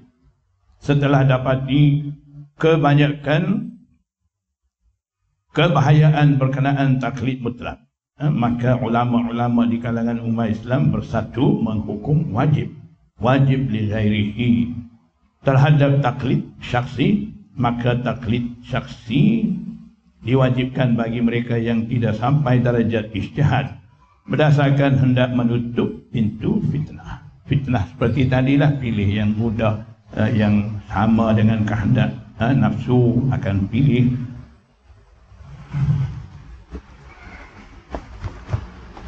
Baik, sekarang ni kita dah faham maksud taklid sebenar. Ikutan sebenar tu itulah.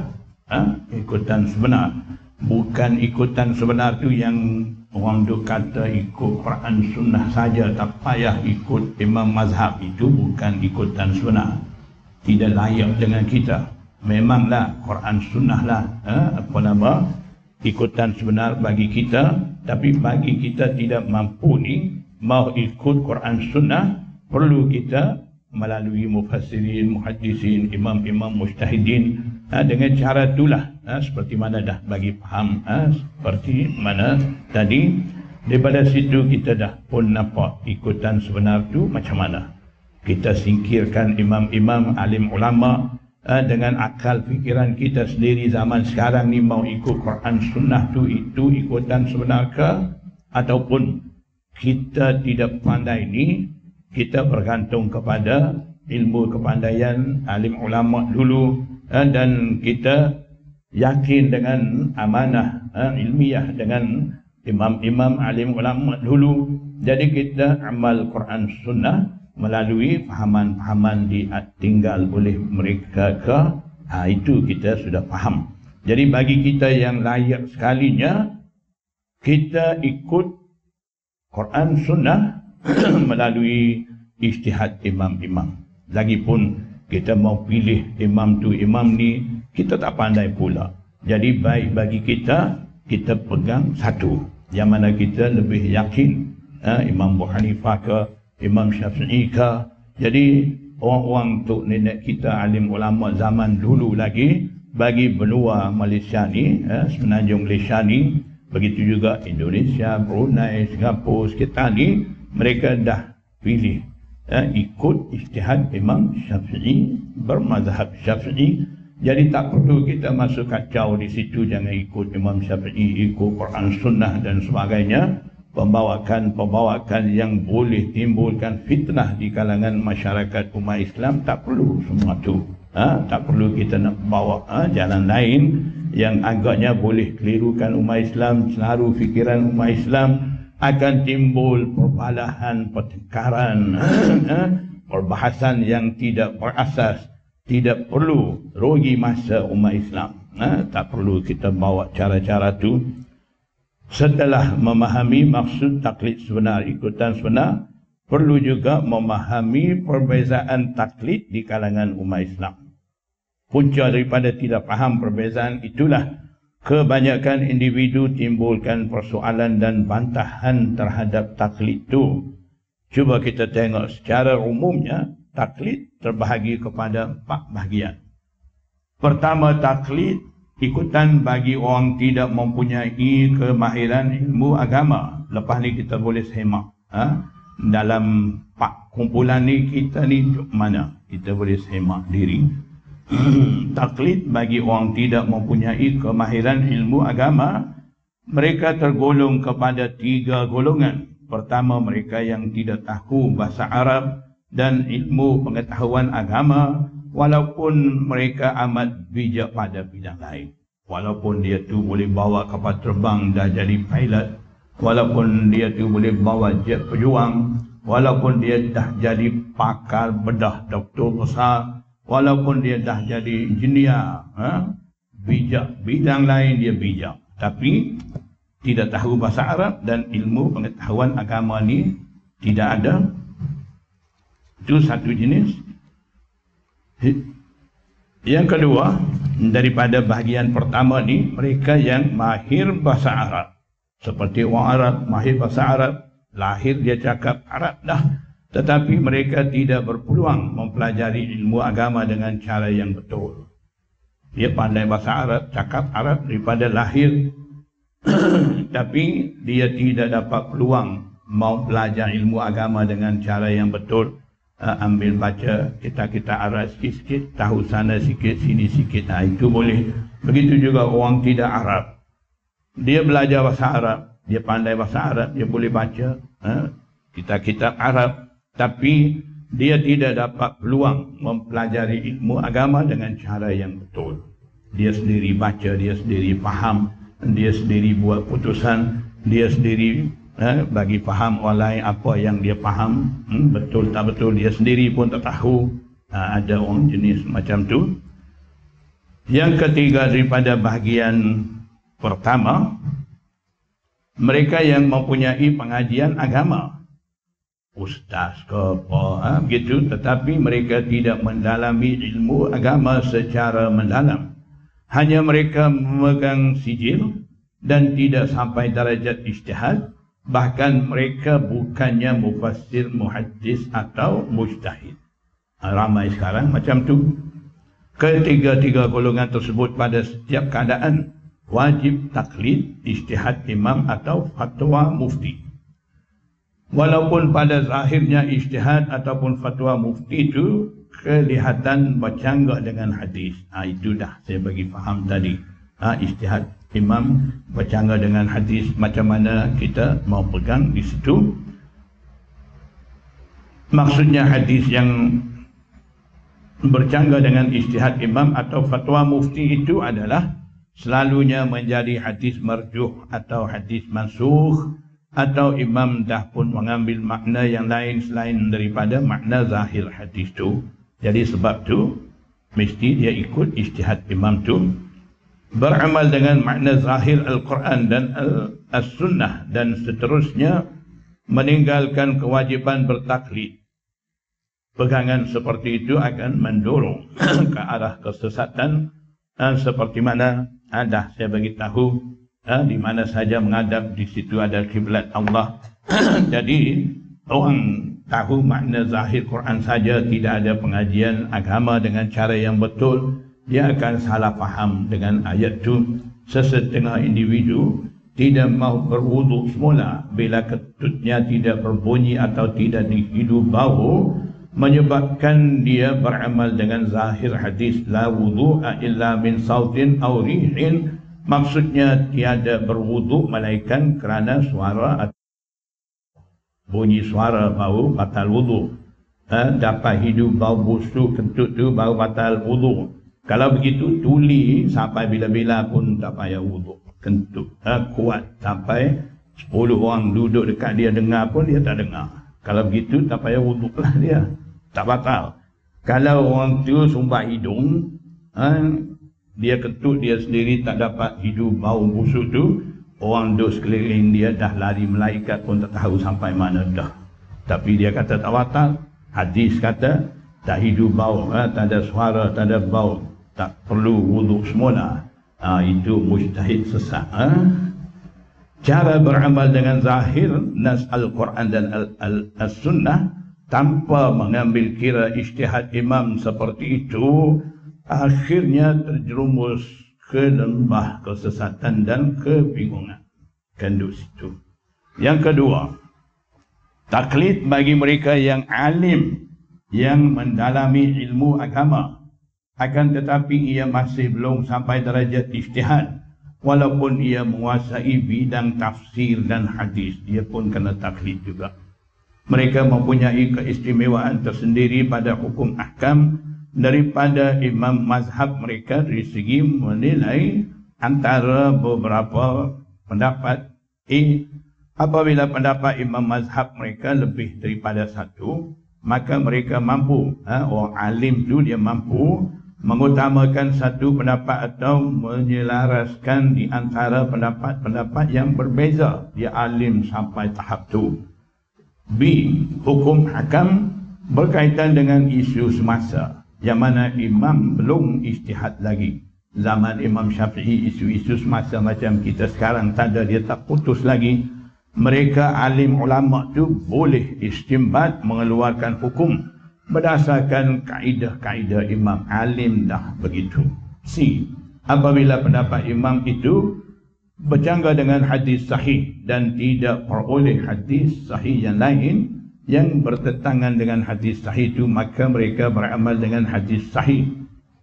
Ha, itu orang-orang ha, jenis yang kedua mendalami ilmu agama walaupun mereka menguasai bidang tafsir dan hadis masih belum sampai darjat ijtihad mereka juga perlu ikut mana-mana seorang imam. Ketiga, taklid bagi mujtahid fil mazhab. Mujtahid fil mazhab ni atas pada tu tinggal mujtahid mutlak imam pak mazhab sahaja. Dia pun kena taklid juga. Taklid bagi mujtahid fil mazhab yang tidak mampu mewujudkan dasar ijtihad seperti mujtahid mutlak. Akan tetapi mereka mempunyai kekuatan ijtihad di bawah suluhan dasar-dasar fiqah yang ditetapkan oleh imam yang empat. Mereka sendiri mau jadi mustahib mutlak tak pandai. Tapi mereka juga ada kebolehan istihad tapi mereka perlu bergantung kepada dasar-dasar usul-usul yang ditetapkan oleh imam pak mazhab tu berdasarkan tu mereka boleh ijtihad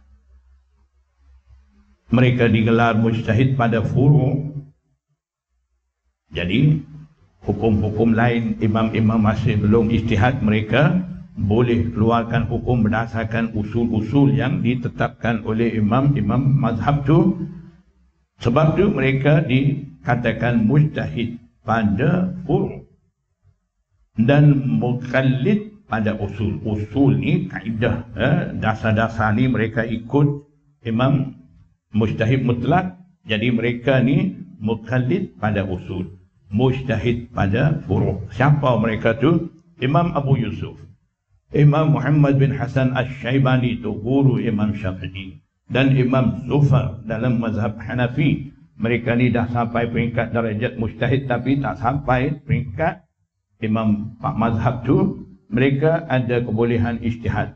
Jadi Imam Abu Yusuf, Imam Muhammad bin Hasan Al-Syaibani mereka ni guna kaedah-kaedah yang diasaskan oleh Imam Abu Hanifah mereka juga boleh ijtihad mengeluarkan hukum ha, yang mana Imam Abu Hanifah masih ha, tidak mengeluarkan lagi tu Begitu juga Imam Abu Saul dan Imam Muzani dalam mazhab Syafi'i. Yang tiga Imam Sahnun bin Al-Qasim dalam mazhab Maliki. Yang keempat Imam Karshi dan Abu Bakr Al-Asram dalam mazhab Hanbali.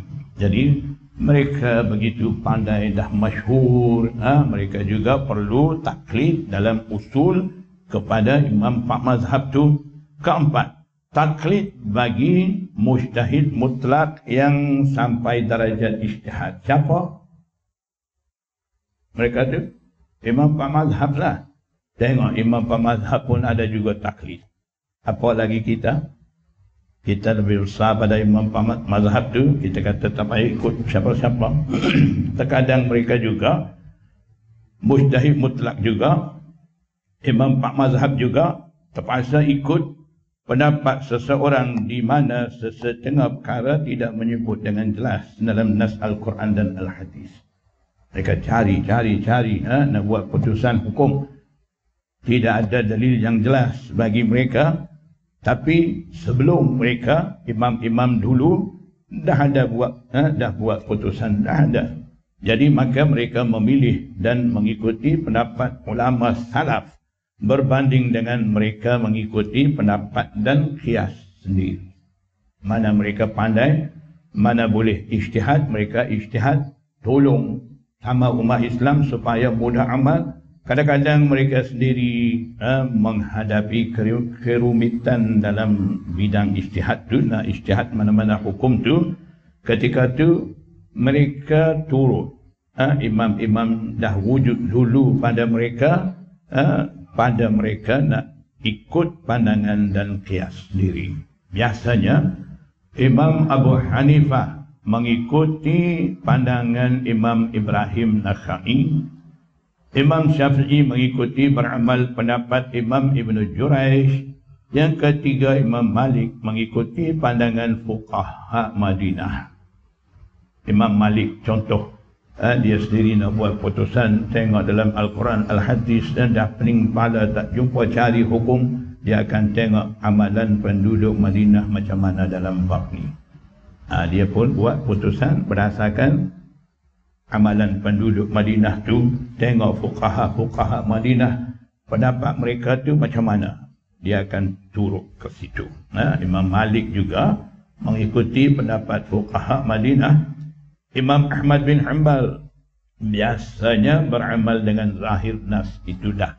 Saya bagi faham tadi ada ya, ulang cerita disebabkan ada kaitan ya, dalam bab ni jadi itu baca sendirilah dah bagi tadi saya dah ya, bagi faham dan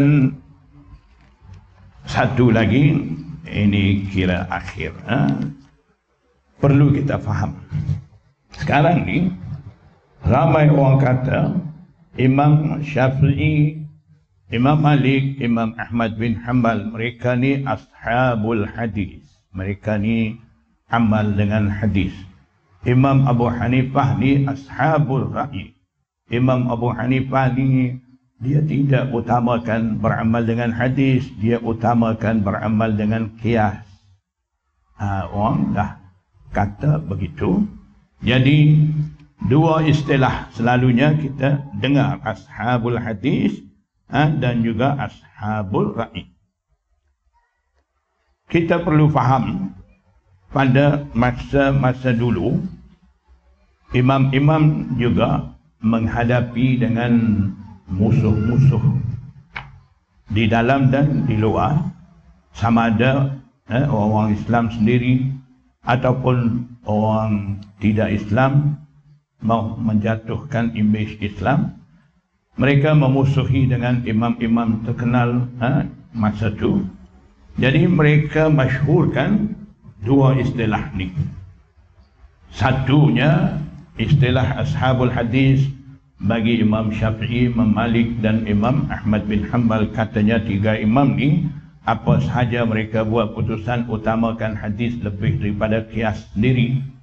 Imam Abu Hanifah ni utamakan kias lebih daripada hadis. Mereka masyhurkan dua istilah ha, dengan maksud maksud begitu. Jadi terpengaruhlah kaum muslimin sampai sekarang pun masih ada lagi orang duk kata begitu. Ha, sebenarnya tidak begitu.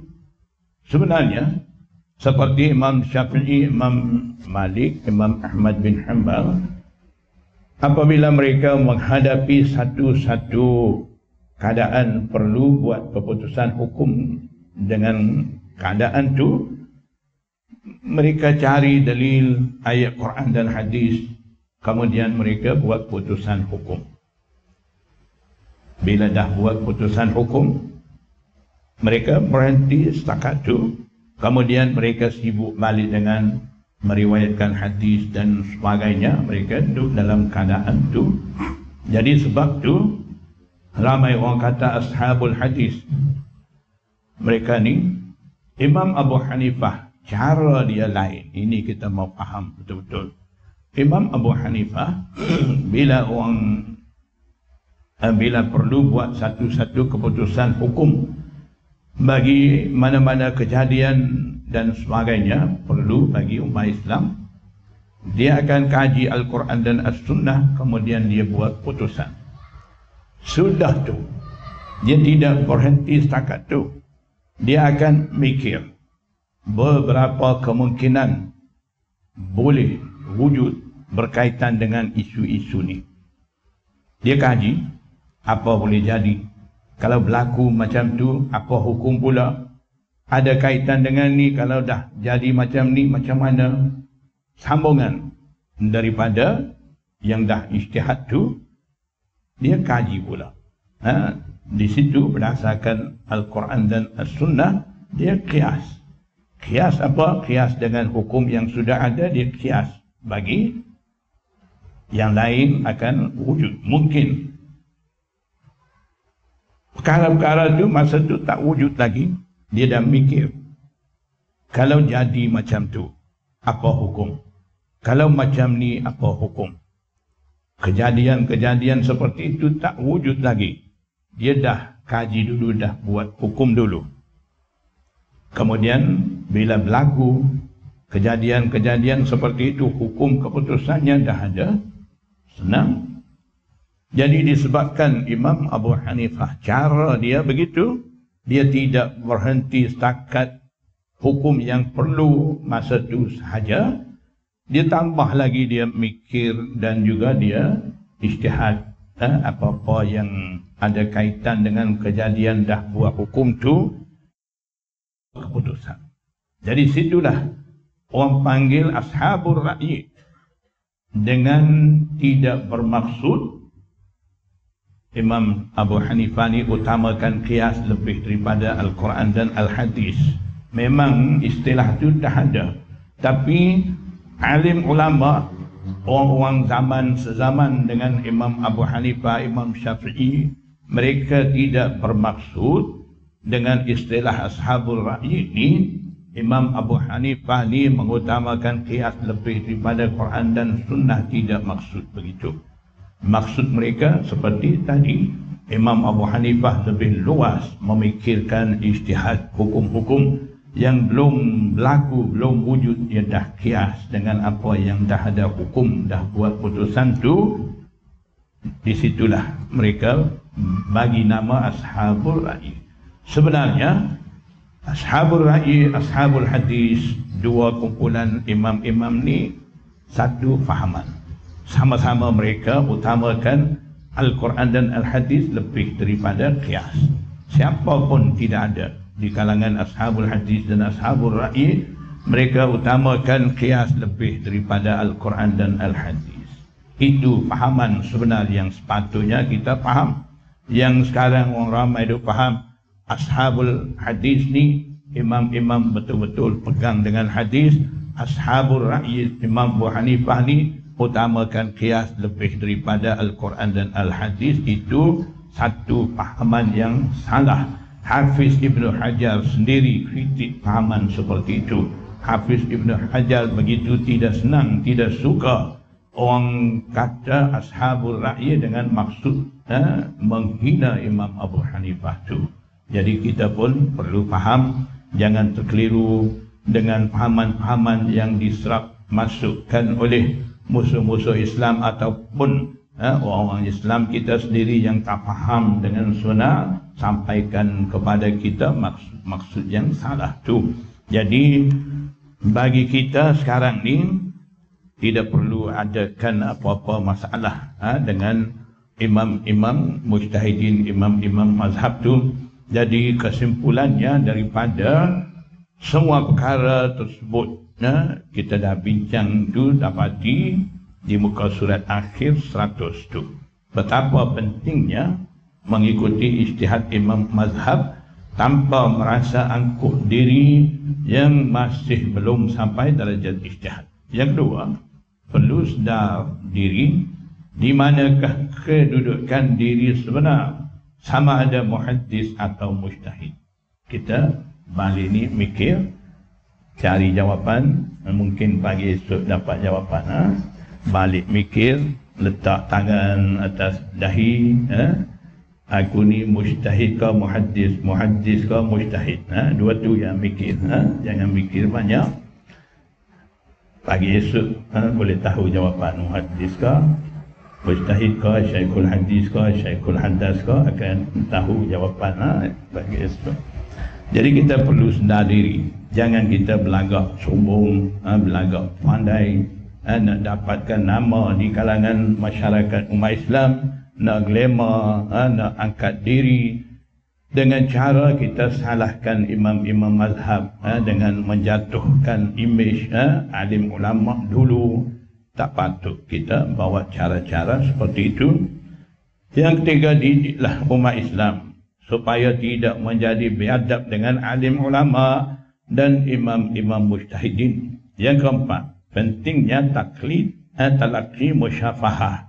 Kitab-kitab hadis mu'tabar dengan syekh benar-benar memahami dan mendalami ilmu hadis sehingga nampak jelas keputusan imam-imam mazhab tu. Jangan dipuas hati dengan hanya boleh baca kitab hadis sikit, tahu sebut sahih hasan dhaif maudhu, ha, kemudian dah anggap diri ni pakar hadis dah pandai lebih daripada Imam Syafi'i, boleh kritik ha, ijtihad Imam Syafi'i, Imam Abu Hanifah, Jangan duk belagak begitu. Kaji balik diri sendiri.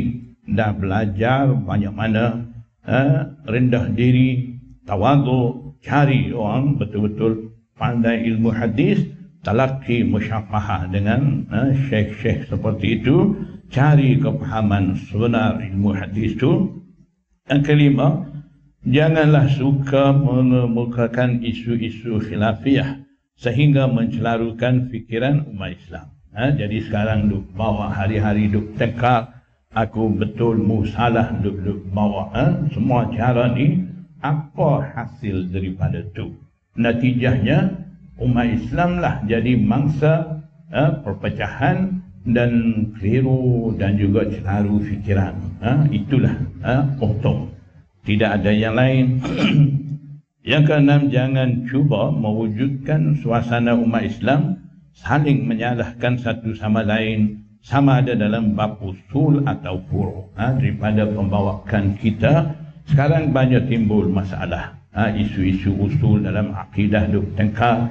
Dalam furu pun banyak timbul masalah. Jadi semua ni merugikan masa umat Islam. Ha, tidak ada apa-apa faedah.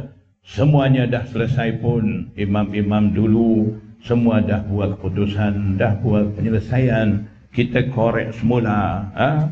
kemudian kita mau buat penyelesaian sendiri mau tunjuk pandai salahkan imam tu imam ni. Semuanya merugikan masa kita. Tidak ada apa-apa faedah. Pada kita nak buat kerja-kerja tu belajar ha? amal ha? itu ada faedah bagi kita yang ketujuh wujudkanlah suasana aman damai tenang dan harmoni dalam masyarakat umat Islam melalui ikutan sebenar selari dengan kehendak Al-Quran dan Al-Hadis. Ha, itu penting ha, bagi kita. Jadi ha, daripada sedikit sebanyak ha, pemetangan saya yang mana ada sedikit ha, kefahaman ha, daripada saya, saya kongsikan ha, kepada asatizah hadirin hadirat. Semoga Allah subhanahu wa ta'ala bagi taufik kepada kita kita dapat pilih jalan uh, sebenar untuk kita ikut dan uh, dapat mengelak daripada kesesatan akidah dan juga amalan-amalan kita. Amin. Ya rabbal alamin والله أعلم. وبالله التوفيق والهداية. والسلام عليكم ورحمة الله وبركاته.